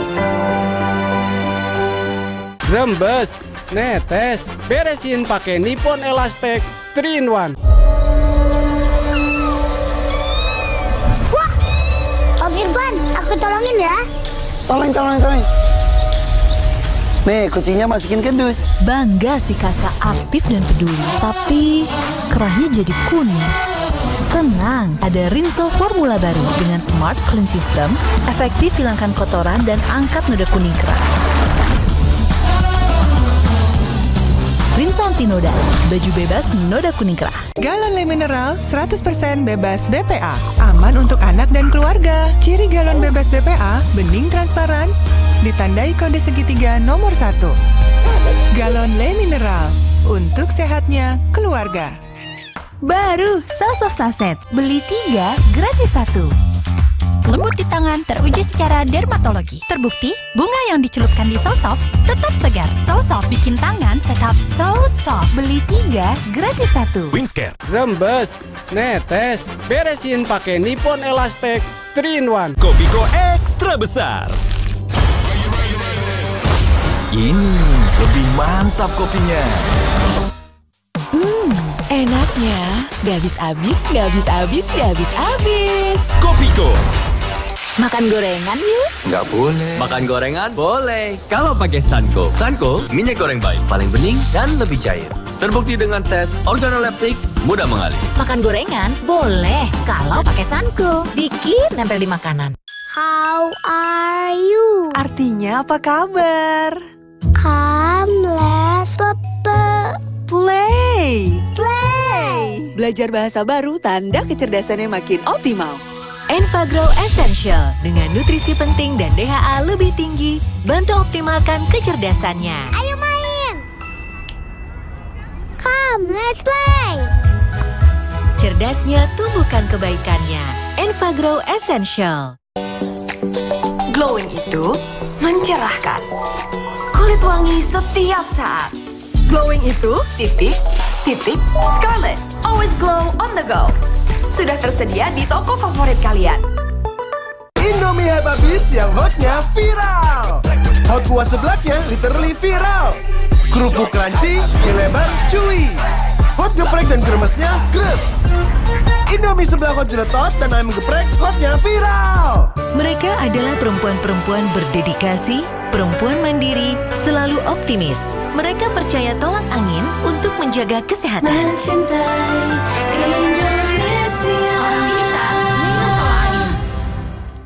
Dulu aku pikir semua air mineral itu sama. Ternyata ya lem mineral itu beda. Di luar panas banget. Iya, habis minum lem mineral, rasanya smooth banget. Nggak enak. Iya, ada mas manisnya. Le mineral memang berbeda. Setiap tetesnya mengandung mineral esensial seimbang yang penting untuk tubuh dan juga membuat rasa airnya lebih segar. Uh, segernya. Bikin badan lebih lebih enteng. Le Mineral, kebaikan mineral terlindungi. Kopiko ekstra besar. Ini lebih mantap kopinya. Hmm, enaknya. Gak habis-habis, gak habis-habis, gak habis-habis. Kopiko. Cuacanya bikin gampang sakit. Bersyukur. Virus di mana-mana. Bersyukur beri susu tujuh kurma. Kebaikan susu steril dan kurma jadi satu. Beri susu steril tujuh kurma. Insya Allah double khasiatnya. Aqua percaya akan keajaiban alam. Maka kami tidak menggunakan galon sekali pakai. Galon kami disanitasi dengan seksama sebelum diisi ulang. Aqua 100% murni. Hei ibu, bu aku bersihin kamar mandi dulu ya, 5 menit. Bersihin kamar mandi nggak bisa cepat. Pakai pembersih lantai, nyikatnya lama. Pembersih keras, baunya nyengat. Ganti ke Harpic. Tidak seperti pembersih lantai, formula Harpic lebih kental, hilangkan noda dan kerak hanya dalam 5 menit. 10 kali lebih bersih, wangi tahan lama. Cuma 5 menit. Pinter juga mamamu. Kan Harpic. Harpiknya buat ibu ya. Ingat toilet, ingat Harpic. Betul, saya pilih Roma Kelapa, semua suka rasanya. Paling enak untuk celup-celup pagi, cocok untuk bekal sekolah dan santai sore hari. Menambah keceriaan, Roma Kelapa, biskuit nomor satu untuk keluarga nomor satu.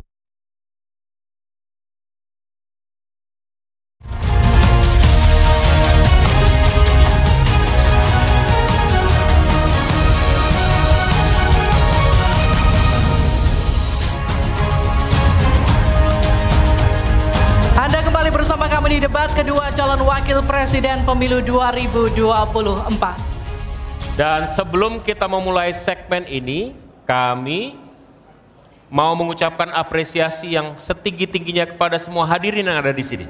Suasana cukup kondusif. Kita berharap ini akan terus terjaga karena sesi ini sangat-sangat rentan untuk terpancing. Jadi kita sepakat dulu ya, kita komit dulu ya. Karena di sesi ini, jika sesi sebelumnya pertanyaan disiapkan oleh panelis, maka di sesi ini pertanyaan disampaikan oleh kandidat atau calon wakil presiden kepada calon wakil presiden yang lain. Betul, jawaban pertanyaan akan ditanggapi oleh cawapres penanya dan selanjutnya akan direspon kembali oleh calon wakil presiden yang menjawab. Tapi kami kembali mengingatkan kepada para calon wakil presiden untuk melakukan tanya jawab sesuai dengan tema debat, yakni ekonomi kerakyatan dan digital, keuangan, investasi, pajak, pengelolaan APBN dan APBD, perdagangan, infrastruktur, dan perkotaan. Sebelumnya kami undang Bapak-bapak calon wakil presiden untuk maju lagi ke podium. Kita akan mulai segmen ini segera. Sesuai dengan urutan tadi, kesempatan pertama akan diberikan pada calon wakil presiden nomor urut 2, Bapak Gibran Raka Buming Raka untuk bertanya kepada calon wakil presiden nomor urut 3, Bapak Mahfud MD. Waktu Bapak satu menit dimulai dari Anda berbicara. Baik, terima kasih.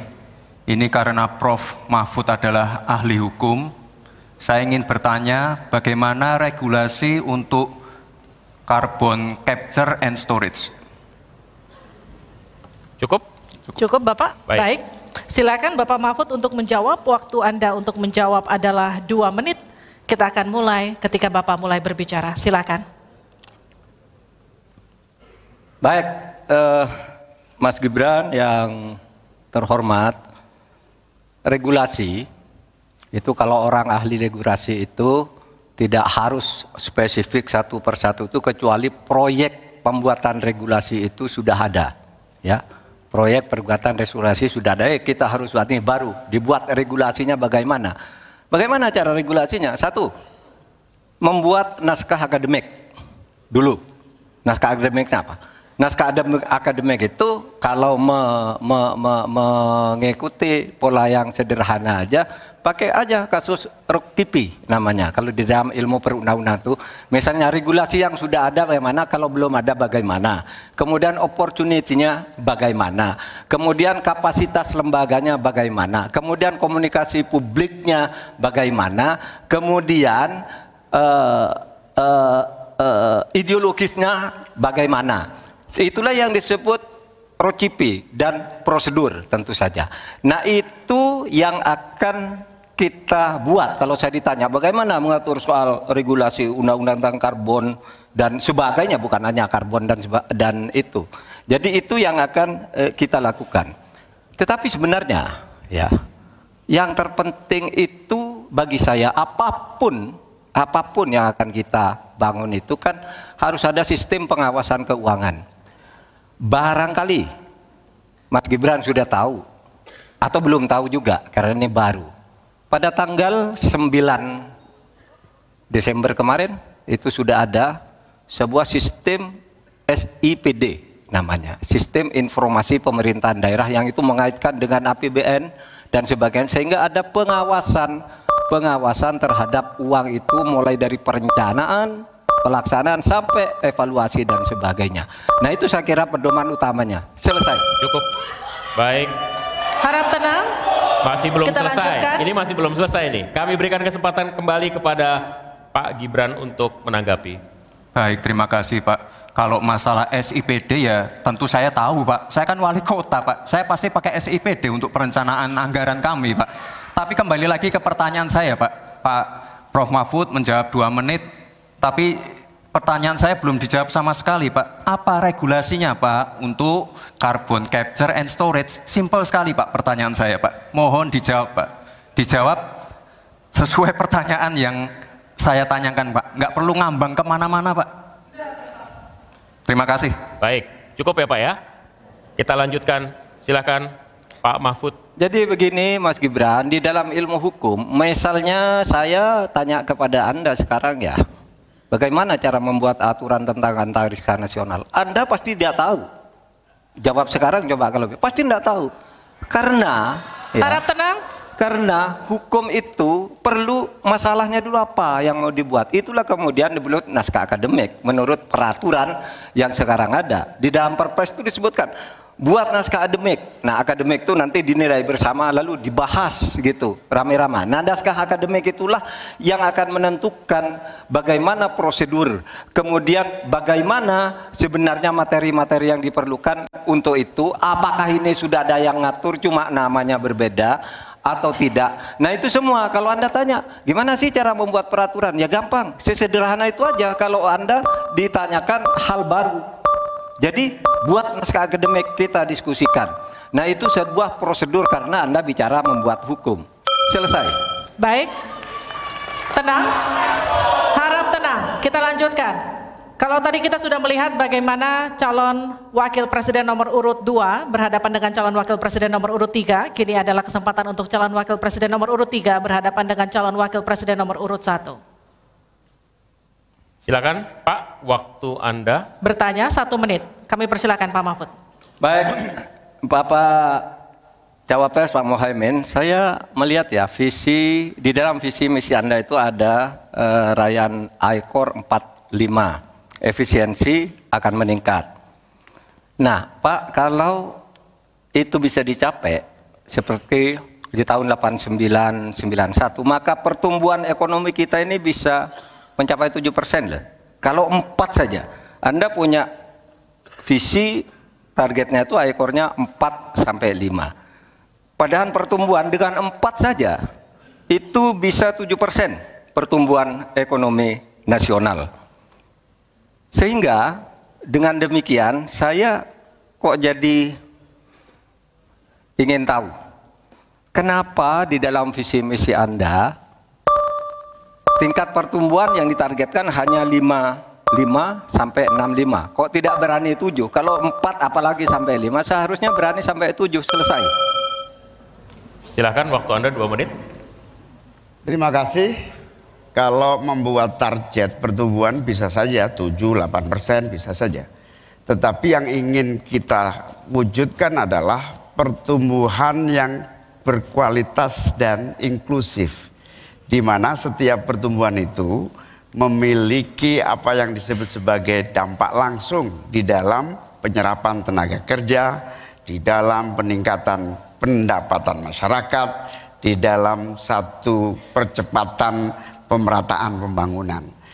Target 5,5 sampai 6 persen itu dengan kalkulasi agar kalau kita tidak terlampau realistis. Kita khawatir ujung-ujungnya utang luar negeri lagi. Utang luar negeri yang terlampau banyak ini mengakibatkan beban bukan hanya pemerintahan hari ini, tetapi juga anak turun kita akan mengalami banyak beban utang yang panjang. Salah satunya adalah bagaimana agar APBN kita sehat. Yang sekarang saja prosentasi 3.000 eh, triliun APBN aja untuk membayar utangnya cukup tinggi sehingga mengurangi tidak kurang dari 20% APBN kita untuk membayar utang luar negeri. Sehingga target yang berjumlah 5,5 persen sampai 6,5 persen itu realistis yang akan tidak membebani bagi proses pembangunan kita di masa yang akan datang. Di sisi yang lain kita pasti tahu bahwa salah satu syarat-syarat pertumbuhan yang bisa sehat itu adalah apabila investasi yang masuk juga tidak menjadi beban baru bagi pembangunan nasional kita. Apa beban baru itu?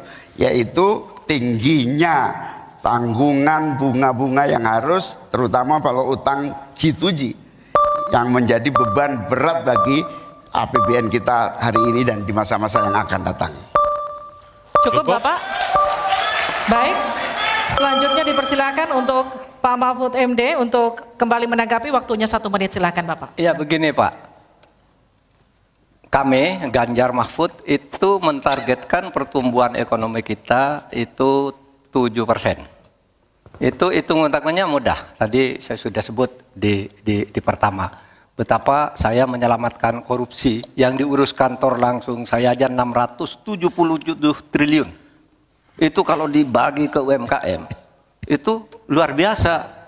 Kemudian yang ditemukan oleh ICW sejak tahun 2014 yang sudah inkrah korupsi itu berapa? 233,7 triliun.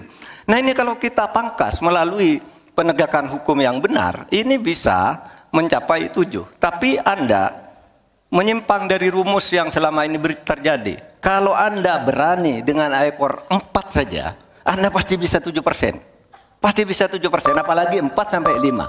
Lah ini Anda memperhatikan segini, tapi pertumbuhan ekonominya cuma 5,6. Secara matematis agar kurang cepat. Selesai. Silakan ditanggapi. Harap tenang. Ditanggapi Ya. Pak Muhaimin. Tentu saya sangat setuju. Bukan hanya pemberantasan korupsi yang membawa pemasukan bagi APBN kita, menjaga kebocoran APBN kita, tetapi juga pendapatan negara bukan pajak yang juga menjadi bagian dari andalan. Akan tetapi kita juga harus realistis bahwa 7% itu bisa jadi cuma omong kosong di mana kenyataannya setelah APBN kita jalan sampai hari ini aja 5% yang diterapkan oleh pemerintah hari ini juga masih mengalami banyak kontraksi. Dalam arti utang luar negeri masih menjadi andalan utama sekaligus kita juga men- men- menyaksikan bagaimana 5% itu realnya di lapangan tidak sampai 5%. Sehingga saya khawatir kalau target 7% itu dipaksakan ujungnya bukan pertumbuhan yang sehat tetapi pertumbuhan semu yang keropos. Baik, Tenang, kita lanjutkan. ya. Interaksi antara tiga dan satu sudah selesai. Sekarang giliran interaksi antara satu dan dua. Pak Muhaimin silahkan bertanya kepada Pak Gibran dan kemudian akan ditanggapi. Waktu Anda satu menit untuk bertanya. Terima kasih Pak Gibran. Pak Gibran ini telah berhasil menjadi wali kota sekaligus pengusaha yang sukses. Bahkan berbagai proyek-proyek besar telah berhasil dibangun di eh, Solo. Ini menjadi prestasi tetapi kita ingin prestasi ini ditularkan kepada yang lain. Saya ingin Pak Gibran menyampaikan tips and tricks agar bupati, wali kota dan pemerintah daerah yang lain bisa belajar agar proyek-proyek besar bisa di, ada dimasukkan di kota Solo. Bagaimana caranya ini? Tenang. itu. Cukup? Cukup. Baik. Cukup. Silahkan waktu Anda. Pak Gibran, waktu Anda dua menit untuk menanggapi. Baik Gus Muhaimin, saya jelaskan ya. Sekarang Indonesia itu sudah memulai yang namanya pemerataan pembangunan. Yang dibangun bukan hanya Solo saja. 53% investasi kita sudah ada di luar Jawa. Kalau kita pengen fair ya Gus, jumlah Tenang. Mohon tenang, Tenang, mohon tenang, tenang. tenang, jumlah tenang. jumlah proyek jumlah anggaran yang digelontorkan ke Solo sebelum saya jadi wali kota itu lebih besar. Saya tahulah ini arah pertanyaannya ke mana. Tapi yang jelas ini Gus, apa yang sudah dibangun, yang kita lihat bukan bangunan fisiknya saja, tapi kita lihat impactnya ke warga. Bangun masjid menggunakan CSR dari Abu Dhabi. Impactnya apa? UMKM kita sekarang melesat, wisata kita melesat. Kemarin waktu Idul Fitri, kunjungan wisatawan ke Solo melebihi Jogja. Itu impactnya. Lalu kita lihat, kita punya kebun binatang Solo Safari, tidak pakai APBN. Masjid tidak pakai APBN. Tapi impactnya apa? Impactnya ke masyarakat. Jadi yang kita lihat ini Gus, tidak perlu tendensius seperti itu. Kita lihat impactnya ke warga seperti apa. UMKM meningkat, kesejahteraan meningkat, lapangan pekerjaan terbuka. Itu yang kita lihat Gus. Jadi tidak tidak melihat, oh ini di anak emaskan. Enggak. Pemerataan pembangunan itu sudah terjadi di mana-mana, bukan hanya di Solo. Dan itu fakta loh Gus. Proyek di Solo sebelum saya menjabat itu lebih banyak fakta itu. Terima kasih. Kita akan lanjutkan. Masih lanjut ini, masih lanjut ini. Silakan Pak Muhaimin untuk menanggapi waktunya satu menit. Ya, yang saya tanyakan belum dijawab. Saya itu Tenang. saya itu tanya tips and triknya agar investasi ataupun eh, proyek-proyek besar bisa di sana. Sebab saya lihat itu ada 32 proyek pemerintahan pusat, ada juga berbagai program-program yang luar biasa, patut patut patut kita banggakan. Dibandingkan dengan misalnya Kota Madiun yang hanya 11 persen, Cirebon hanya 7 persen, Tasikmalaya. Kita ingin triknya apa? Sehingga akses pendanaan pembangunan itu bisa bersifat adil dan merata. Bukan hanya di satu kota, Harap tenang, tapi tenang. berada di seluruh. Kita lanjutkan. Ini yang menjadi catatan saya adalah keadilan dalam melaksanakan APBN. Kalau kita jadi pemerintah pusat nanti, tugas kita adalah membagi secara adil seluruh proyek-proyek nasional kita. Cukup? Cukup. Silakan Pak Gibran untuk menanggapi. Waktunya satu menit, silakan. Mohon tenang, mohon tenang. Baik Gus, saya jawab lagi. Sebelum ada proyek dari pusat masuk, kita ya, para wali kota ya harus menyiapkan yang namanya readiness kriteria. Kalau nggak ada itu, nggak mungkin proyek itu masuk. Dua, kita sebagai wali kota harus menyiapkan hal-hal non teknis, Relo- relokasi, nego dengan warga-warga bantaran sungai, bantaran rel kereta api. Itu Gus. Satu. Lalu kita juga harus berkolaborasi. Tidak semuanya pakai APBN. Ada yang pakai APBN plus APBD plus dibantu. Saya sering dibantu Pak Ganjar, gubernur saya. Ini kolaborasi. Jadi tidak semuanya APBN. Ini kolaborasi. Ada CSR juga, ada BUMN juga. Ini kolaborasi. Dan sekali lagi sebelum itu masuk, kami para wali kota menyiapkan readiness kriteria. Itu. Jadi ya saya kira ini cukup fair Gus. Ayo mana pendukung? Ta Apresiasinya.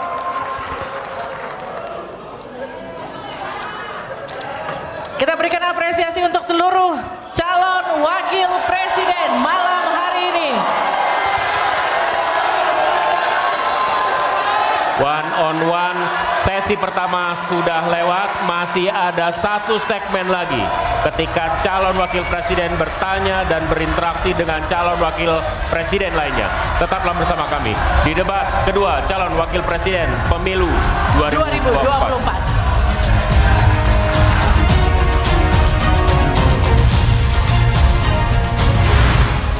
Pemilu 2024 kamu nyoblos siapa Nat? Gak tahu deh, aku nyoblos apa enggak ya? Emang suaraku ada pengaruh gitu? Suara pemilih pemula kayak kita ini berpengaruh loh. Nah makanya kamu jangan sampai golput. Kita harus berprestasi dalam pemilu 2024. Generasi Z kayak kita ini menentukan masa depan bangsa. Anak muda membangun bangsa. Pemilih gak keren.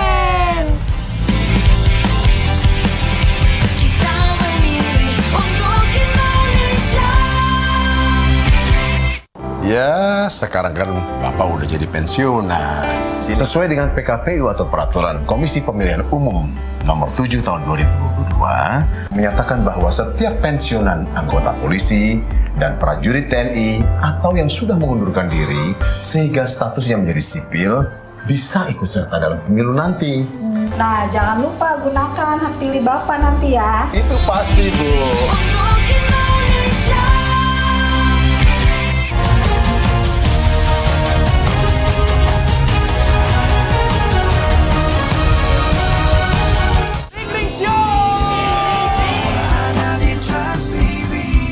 Rembes, netes, beresin pakai Nippon Elastex 3 in 1.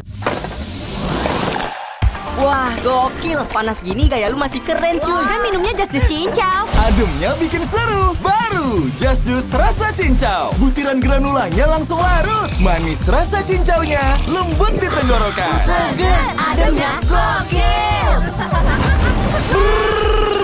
Rasain adem cincaunya. Just Juice rasa cincau. Gokil segernya. Ademnya bikin seru. Dari Wingswood. Untuk kulit si kecil yang mudah kering, aku berikan kelembutan baru Sweet Sal. Pertama dengan 4 kali prebiotic moisturizer yang melembabkan dan wangi lembut, jadikan momen mandi, momen bonding bermakna. Sweet Sal Hair and Body. Gak ada yang terlalu sulit untuk yang terbaik. Sunlight dengan formula cepat kesan. Cukup satu tetes, bersihkan lemak 10 kali lebih cepat bahkan pada plastik.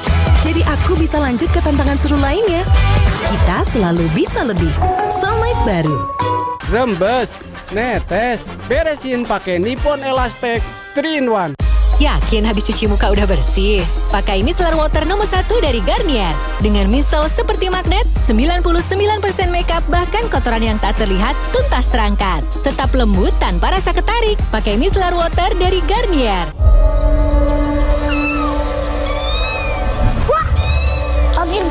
Aku tolongin ya. Tolong, tolong, tolong. Nih, kucingnya masukin ke dus. Bangga si kakak aktif dan peduli, tapi kerahnya jadi kuning. Tenang, ada Rinso formula baru dengan Smart Clean System, efektif hilangkan kotoran dan angkat noda kuning kerah. Rinso anti noda, baju bebas noda kuning kerah. Pilih sambal Indofood yang pas buat lo. Sambal Indofood pedas.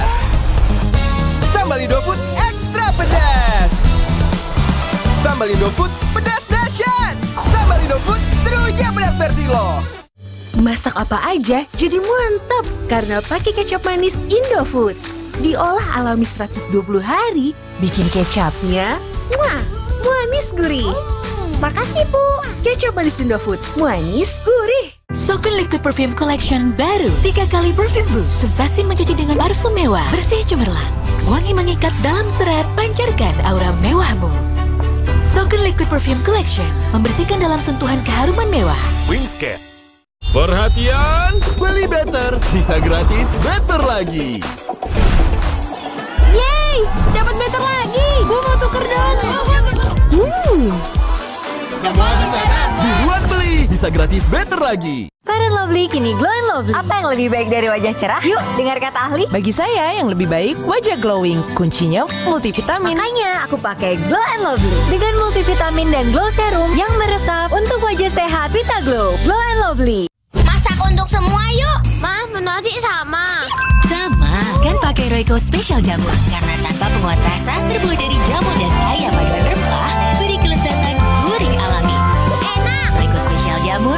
penguat rasa. Sokun Liquid Perfume Collection baru. Tiga kali perfume boost. Sensasi mencuci dengan parfum mewah. Bersih cemerlang. Wangi mengikat dalam serat. Pancarkan aura mewahmu. Sokun Liquid Perfume Collection. Membersihkan dalam sentuhan keharuman mewah. Wingscat. Betul, saya pilih Roma Kelapa, semua suka rasanya. Paling enak untuk celup-celup pagi, cocok untuk bekal sekolah dan santai sore hari. Menambah keceriaan, Roma Kelapa, biskuit nomor satu untuk keluarga nomor satu. Hai, hari ini aku mau share tips biar tangan tetap lembut. Tangan bisa kering karena sering cuci piring. Coba Sunlight Extra Lembut baru dengan Rapno Moisturizer terinspirasi dari skincare. Efektif angkat lemak, jaga tangan tetap terasa lembut. Sunlight Extra Lembut baru. Indomie habis yang hotnya viral. Hot kuah seblaknya literally viral. Kerupuk crunchy, mie lebar, chewy. Hot geprek dan kremesnya gres. Indomie sebelah hot jeletot dan ayam geprek hotnya viral.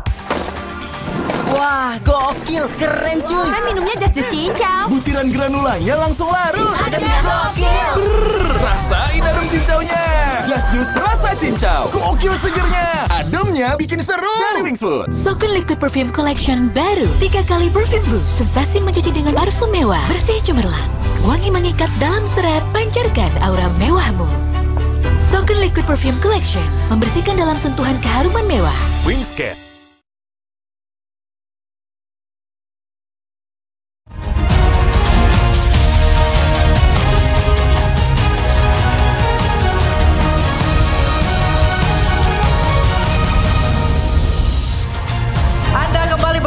Di debat kedua calon wakil presiden pemilu 2024. Kita akan lanjutkan segmen tanya jawab antar calon wakil presiden di segmen ini. Jika sebelumnya kita mulai dengan calon wakil presiden nomor urut 2 yang bertanya, segmen ini kita akan mulai dengan sebaliknya yakni calon wakil presiden nomor urut 3 yang akan bertanya kepada cawapres nomor urut 2.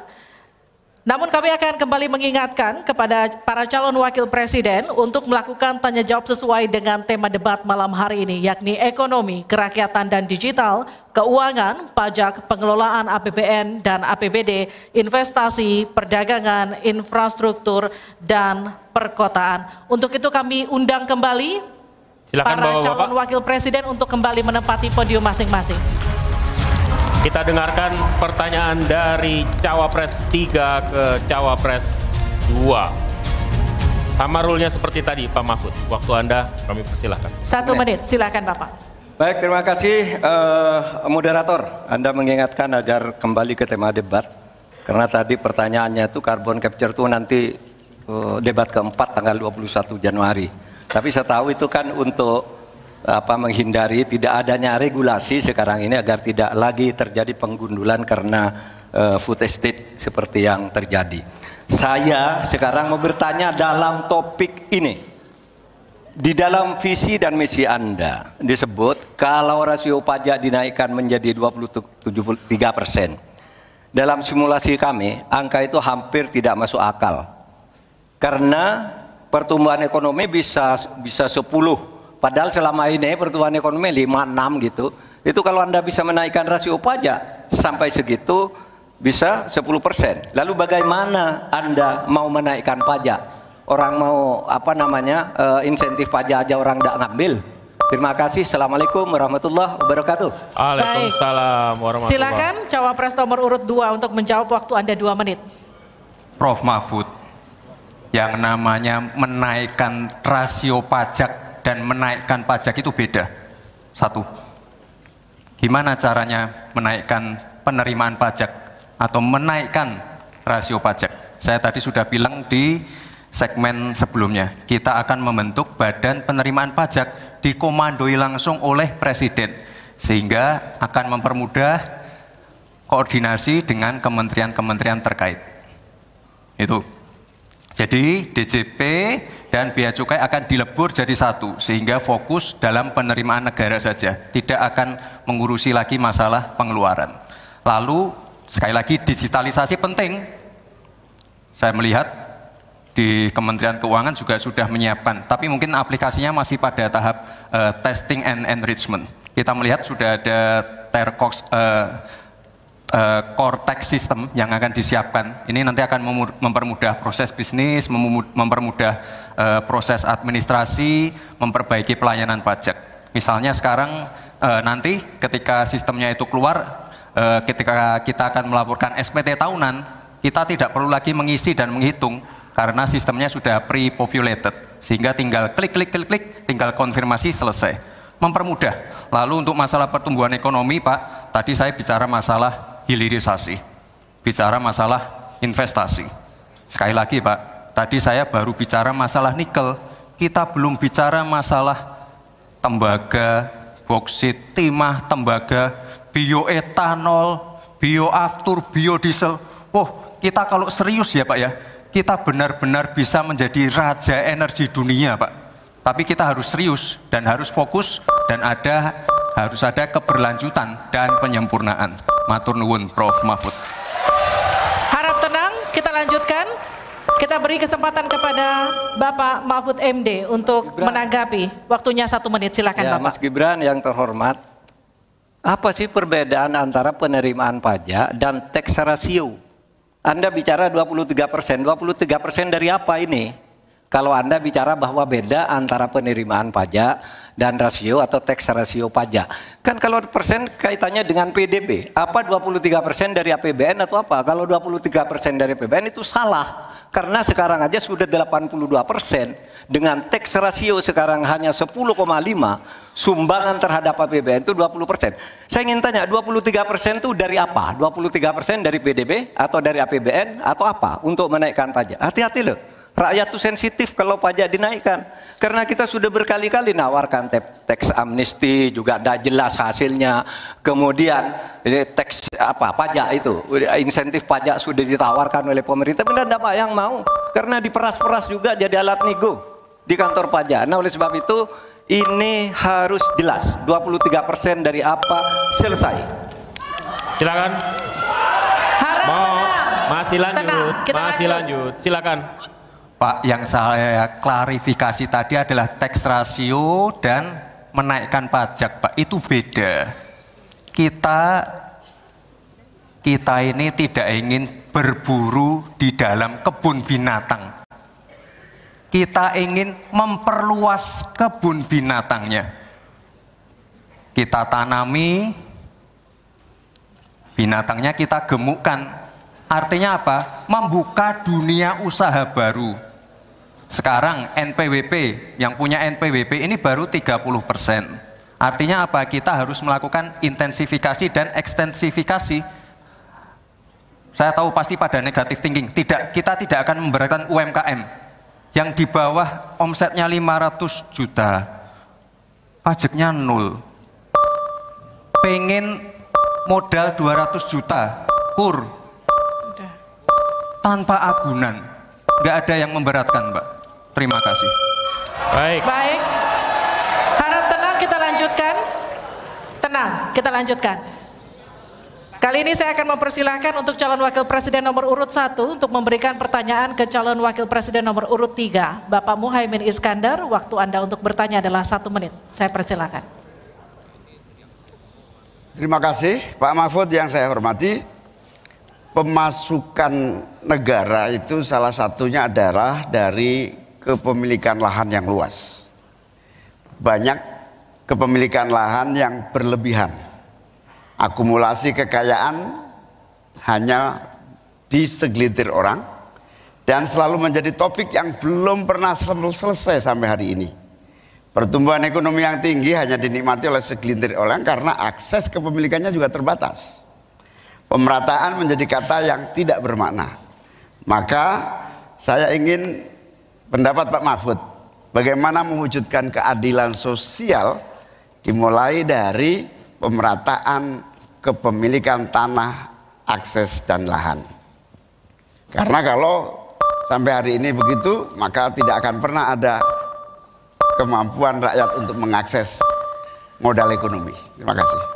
Baik, silakan Pak Mahfud untuk menjawab waktu Anda untuk menjawab dua menit, kami persilakan Bapak. Caimin, itu diskusi sudah lama. Sejak zaman Bung Karno itu dulu mengeluarkan undang-undang land reform redistribusi lahan itu tadi. Yang sampai sekarang itu tidak jalan meskipun undang-undangnya masih berlaku. Kenapa? Lagi saya katakan, ini pada aparat, pada kedisiplinan kita, pada penegakan hukum kita. Itu masalahnya sebenarnya. Coba sekarang ini, kalau data yang pernah saya dengar dari Pak Prabowo beberapa tahun lalu, satu persen penduduk menguasai 75 persen lahan. 99% penduduk berebut mengelola hanya 20% lahan sisanya. Memang timpang. Oleh sebab itu upaya-upaya pemerataan itu harus terus dilakukan. Nah caranya, nah, saya sebelum masuk ke caranya tadi. Caranya tentu kita lihat fakta yang ada di lapangan. Betapa sekarang ini banyak lahan itu diperoleh secara kolusi. Yang tidak jelas. Saya pernah dikritik, Pak kenapa ini pemerintah ini sekarang kok lahannya tidak jelas? Diserahkan ke orang semua, rakyat tidak kebagian. Saya tanya, mana daftar lahan? Saya minta ke Kementerian Pertanian. Oh ini dibuat tahun sekian, ini tahun sekian, ini tahun sekian, tahun sekian. Saya tahu di mana masalahnya dan siapa yang membuat ini. Ini yang harus ditertibkan. Apalagi sekarang lahan-lahan ini tiba-tiba diduduki orang. Diduduki orang sampai puluhan tahun, negara diam aja. Bahkan mau diberi ampun kemarin itu, diberi pengampunan pajak. Saya bilang ini harus pidana, masuk. Itu dia menguasai tanah 22 tahun tidak bayar pajak lalu diberi ampun asal mulai baik-baik kembalikan seandainya pajak Anda bisa saya bilang. Nah sekarang dia ini sudah masuk pidana dan sudah inkrah. Nah itu saya kira jalan yang keluarnya itu kedisiplinan kita menegakkan aturan. Itu saja saya kira jawaban yang yang menurut saya simpel dan tepat selesai. Baik. Silakan Pak Muhaimin untuk tenang, memberikan tenang. tanggapan lanjutkan. dari jawaban Pak Mahfud tadi. Terima kasih. Yang disampaikan Pak Mahfud kurang satu hal saja, yaitu harus ada political will, kemauan politik yang sungguh-sungguh, sekaligus memanfaatkan instrumen hukum yang memadai. Saya ingat debat pilpres lima tahun yang lalu ada komitmen untuk membagi lahan dengan menggunakan land reform dengan istilah e, e, menurut waktu itu kita istilahkan dengan e, e, distribusi kepemilikan lahan.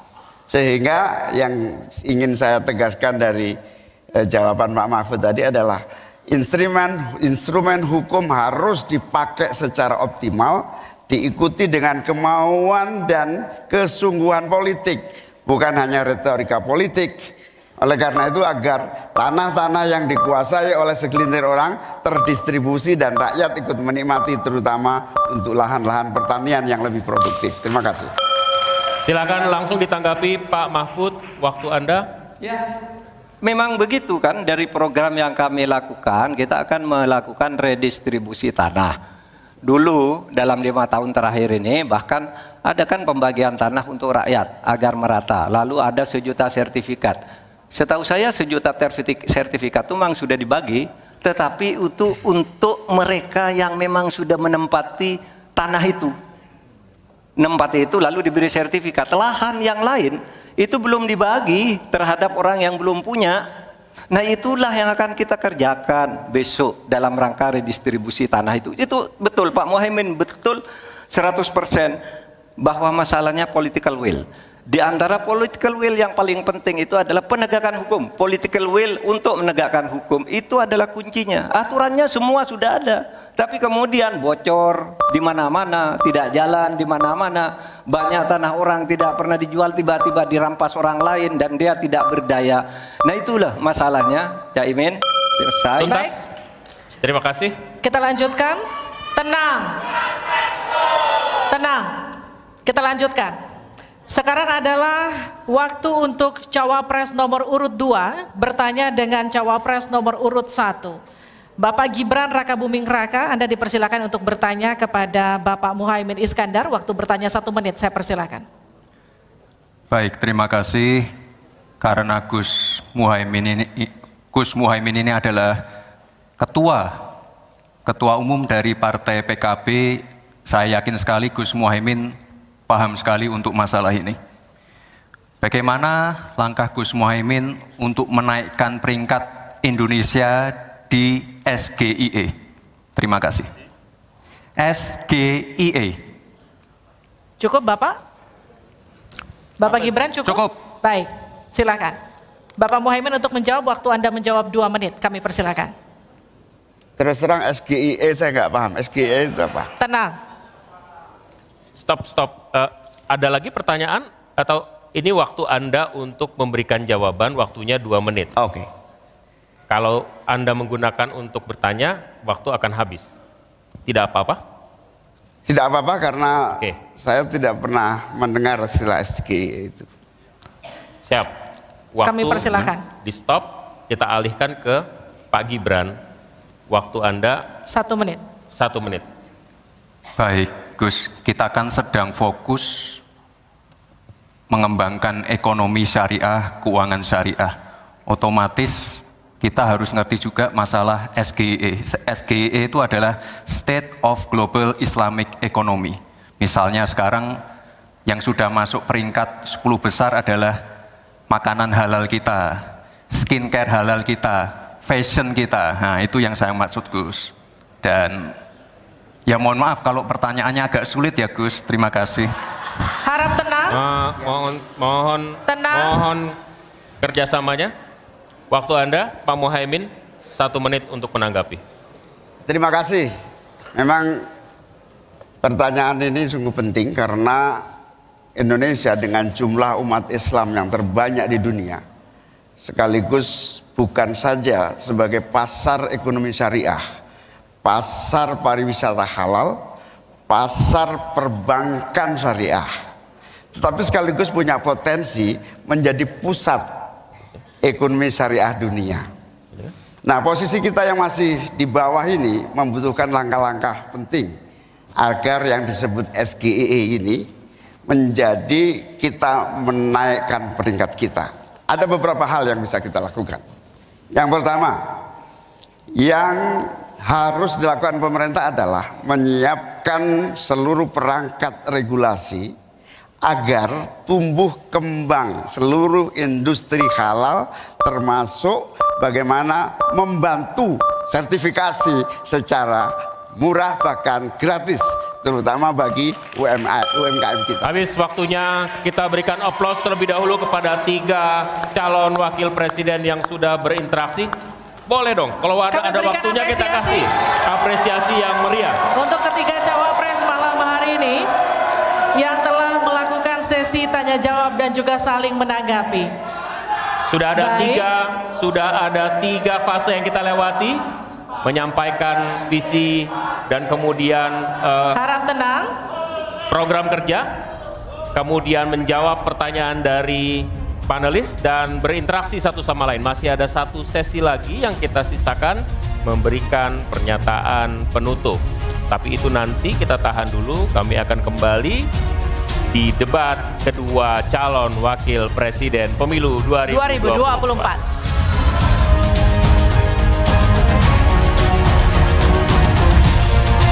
Inara, nama kamu udah terdaftar di cek DPT online belum?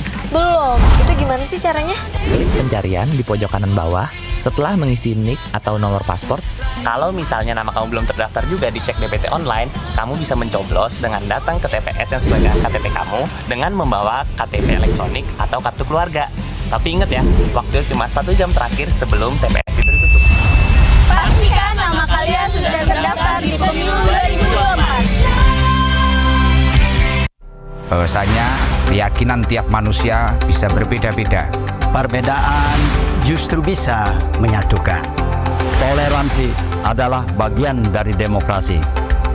Muli rakyat adalah kita. Jangan sia-siakan hak pilihan. Demi Indonesia damai, adil, dan makmur, mari kita berpartisipasi dalam pemilu 14 Februari 2024.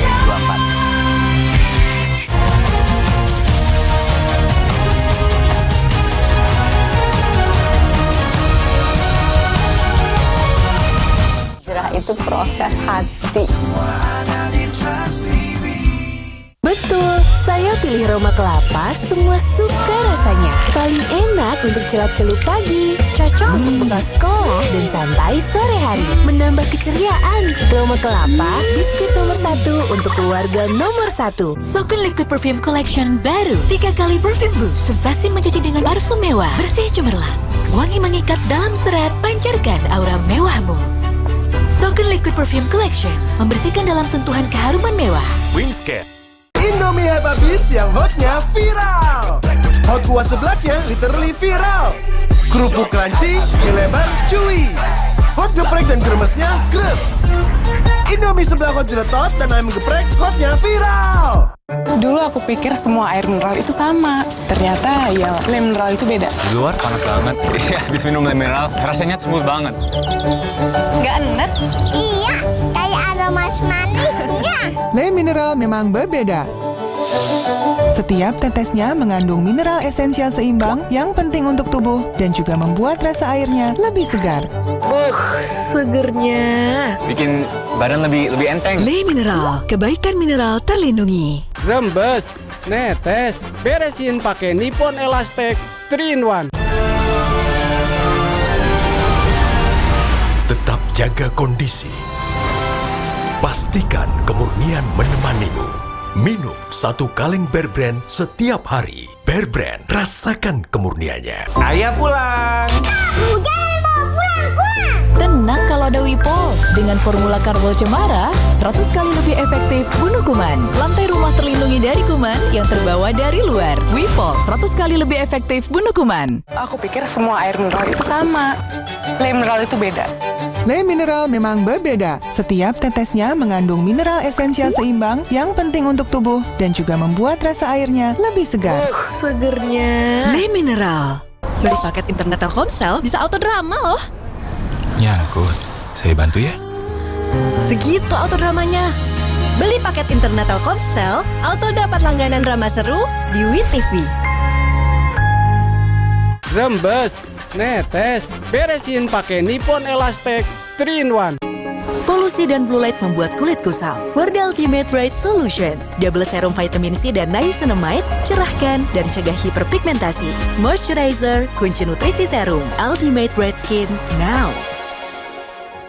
Sokun Liquid Perfume Collection baru, tiga kali perfume boost, sensasi mencuci dengan parfum mewah, bersih cemerlang, wangi mengikat dalam serat, pancarkan aura mewahmu. Sokun Liquid Perfume Collection, membersihkan dalam sentuhan keharuman mewah. Wingscat. Hei, dari mana kamu? Dari rapat OSIS, Bu. Bohong, Kamu habis makan cumi kan? Pakai saus padang kan? Makanya guys, habis makan kiss dulu dong. Kiss, harum mewangi habis makan. Betul, saya pilih Roma Kelapa, semua suka rasanya. Paling enak untuk celup-celup pagi, cocok untuk bekal sekolah dan santai sore hari. Menambah keceriaan, Roma Kelapa, biskuit nomor satu untuk keluarga nomor satu. Aku pikir semua air mineral itu sama. Le mineral itu beda. Le mineral memang berbeda. Setiap tetesnya mengandung mineral esensial seimbang yang penting untuk tubuh dan juga membuat rasa airnya lebih segar. segernya. Le Mineral. Rambut. Insecure terus sama rambut kamu? Pakai Rejoice 3 in 1. Rambut jadi lembut, harum, ternutrisi. Bebas insecure seharian. Bayi drama rambut. Baru Rejoice 3 in 1. Ada yang bisa bantu? Aku. Yuk masak sup ayam. Yuk pakai resep tradisional. Mending pakai resep viral ini. Harus pakai bahan yang tepat. Serius, jangan lupa pakai sayur yang seru. Dan rahasia yang bikin enak, Royco. Royco formula baru dengan ayam direbus lama dan rempah hadirkan kaldu yang mantap. Bikin yang beda tetap sama enaknya. Wah, pecah. Royco. Asik, jalan-jalan. Waduh, tenang. Kan setiap hari udah minum buah vita. Dengan buah dari alam tinggi vitamin C untuk jaga daya tahan tubuh. Minum buah vita. Saatnya jaga daya tahan tubuh, saatnya buah vita. Udah besar kok masih minum susu? Nutrisinya harus diteruskan karena 90% perkembangan kognitifnya tercapai di lima tahun. SGM Explore dengan Iron C dan nutrisi tepat untuk siapkan belajarnya. Ini apa ya? SGM Explore.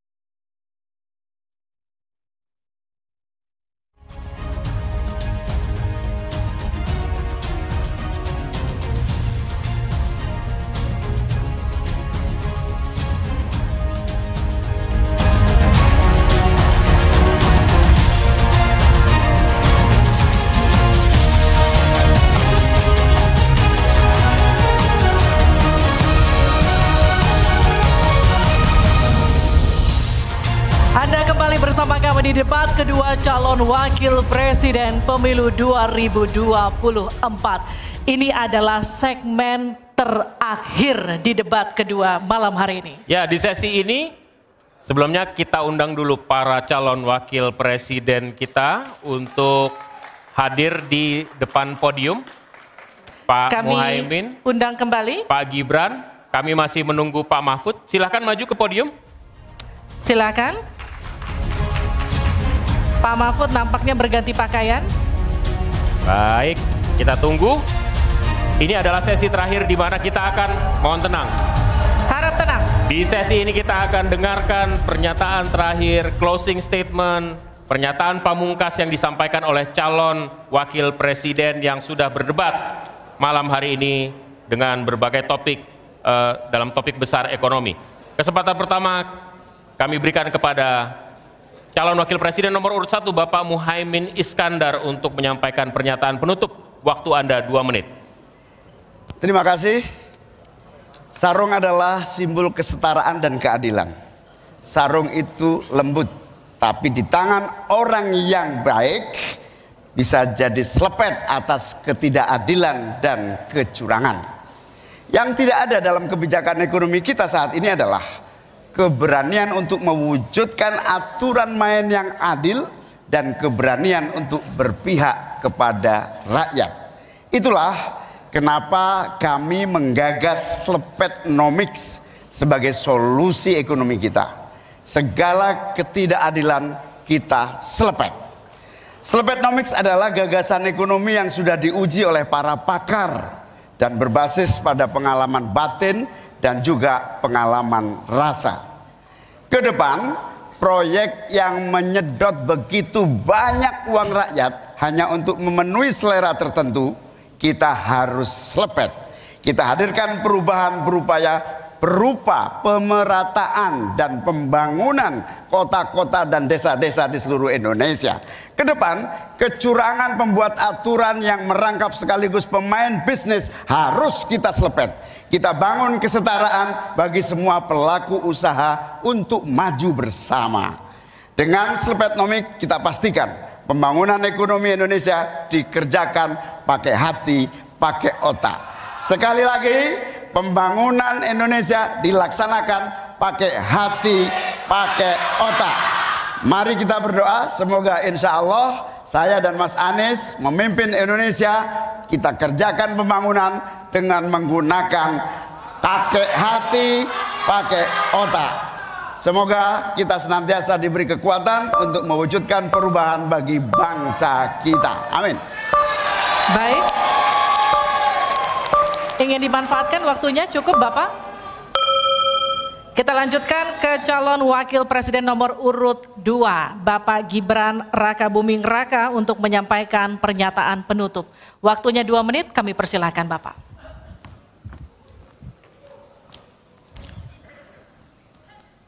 Indonesia ini negara besar. Kita harus bersyukur di tahun 2020 sampai 2030 nanti kita akan mendapatkan bonus demografi.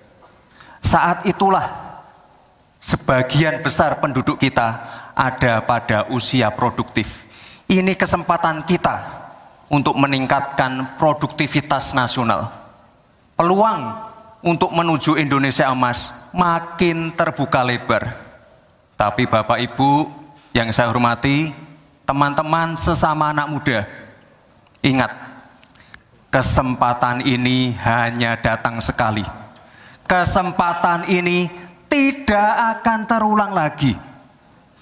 Untuk itu kita harus kerja keras, kerja fokus, berani melakukan lompatan.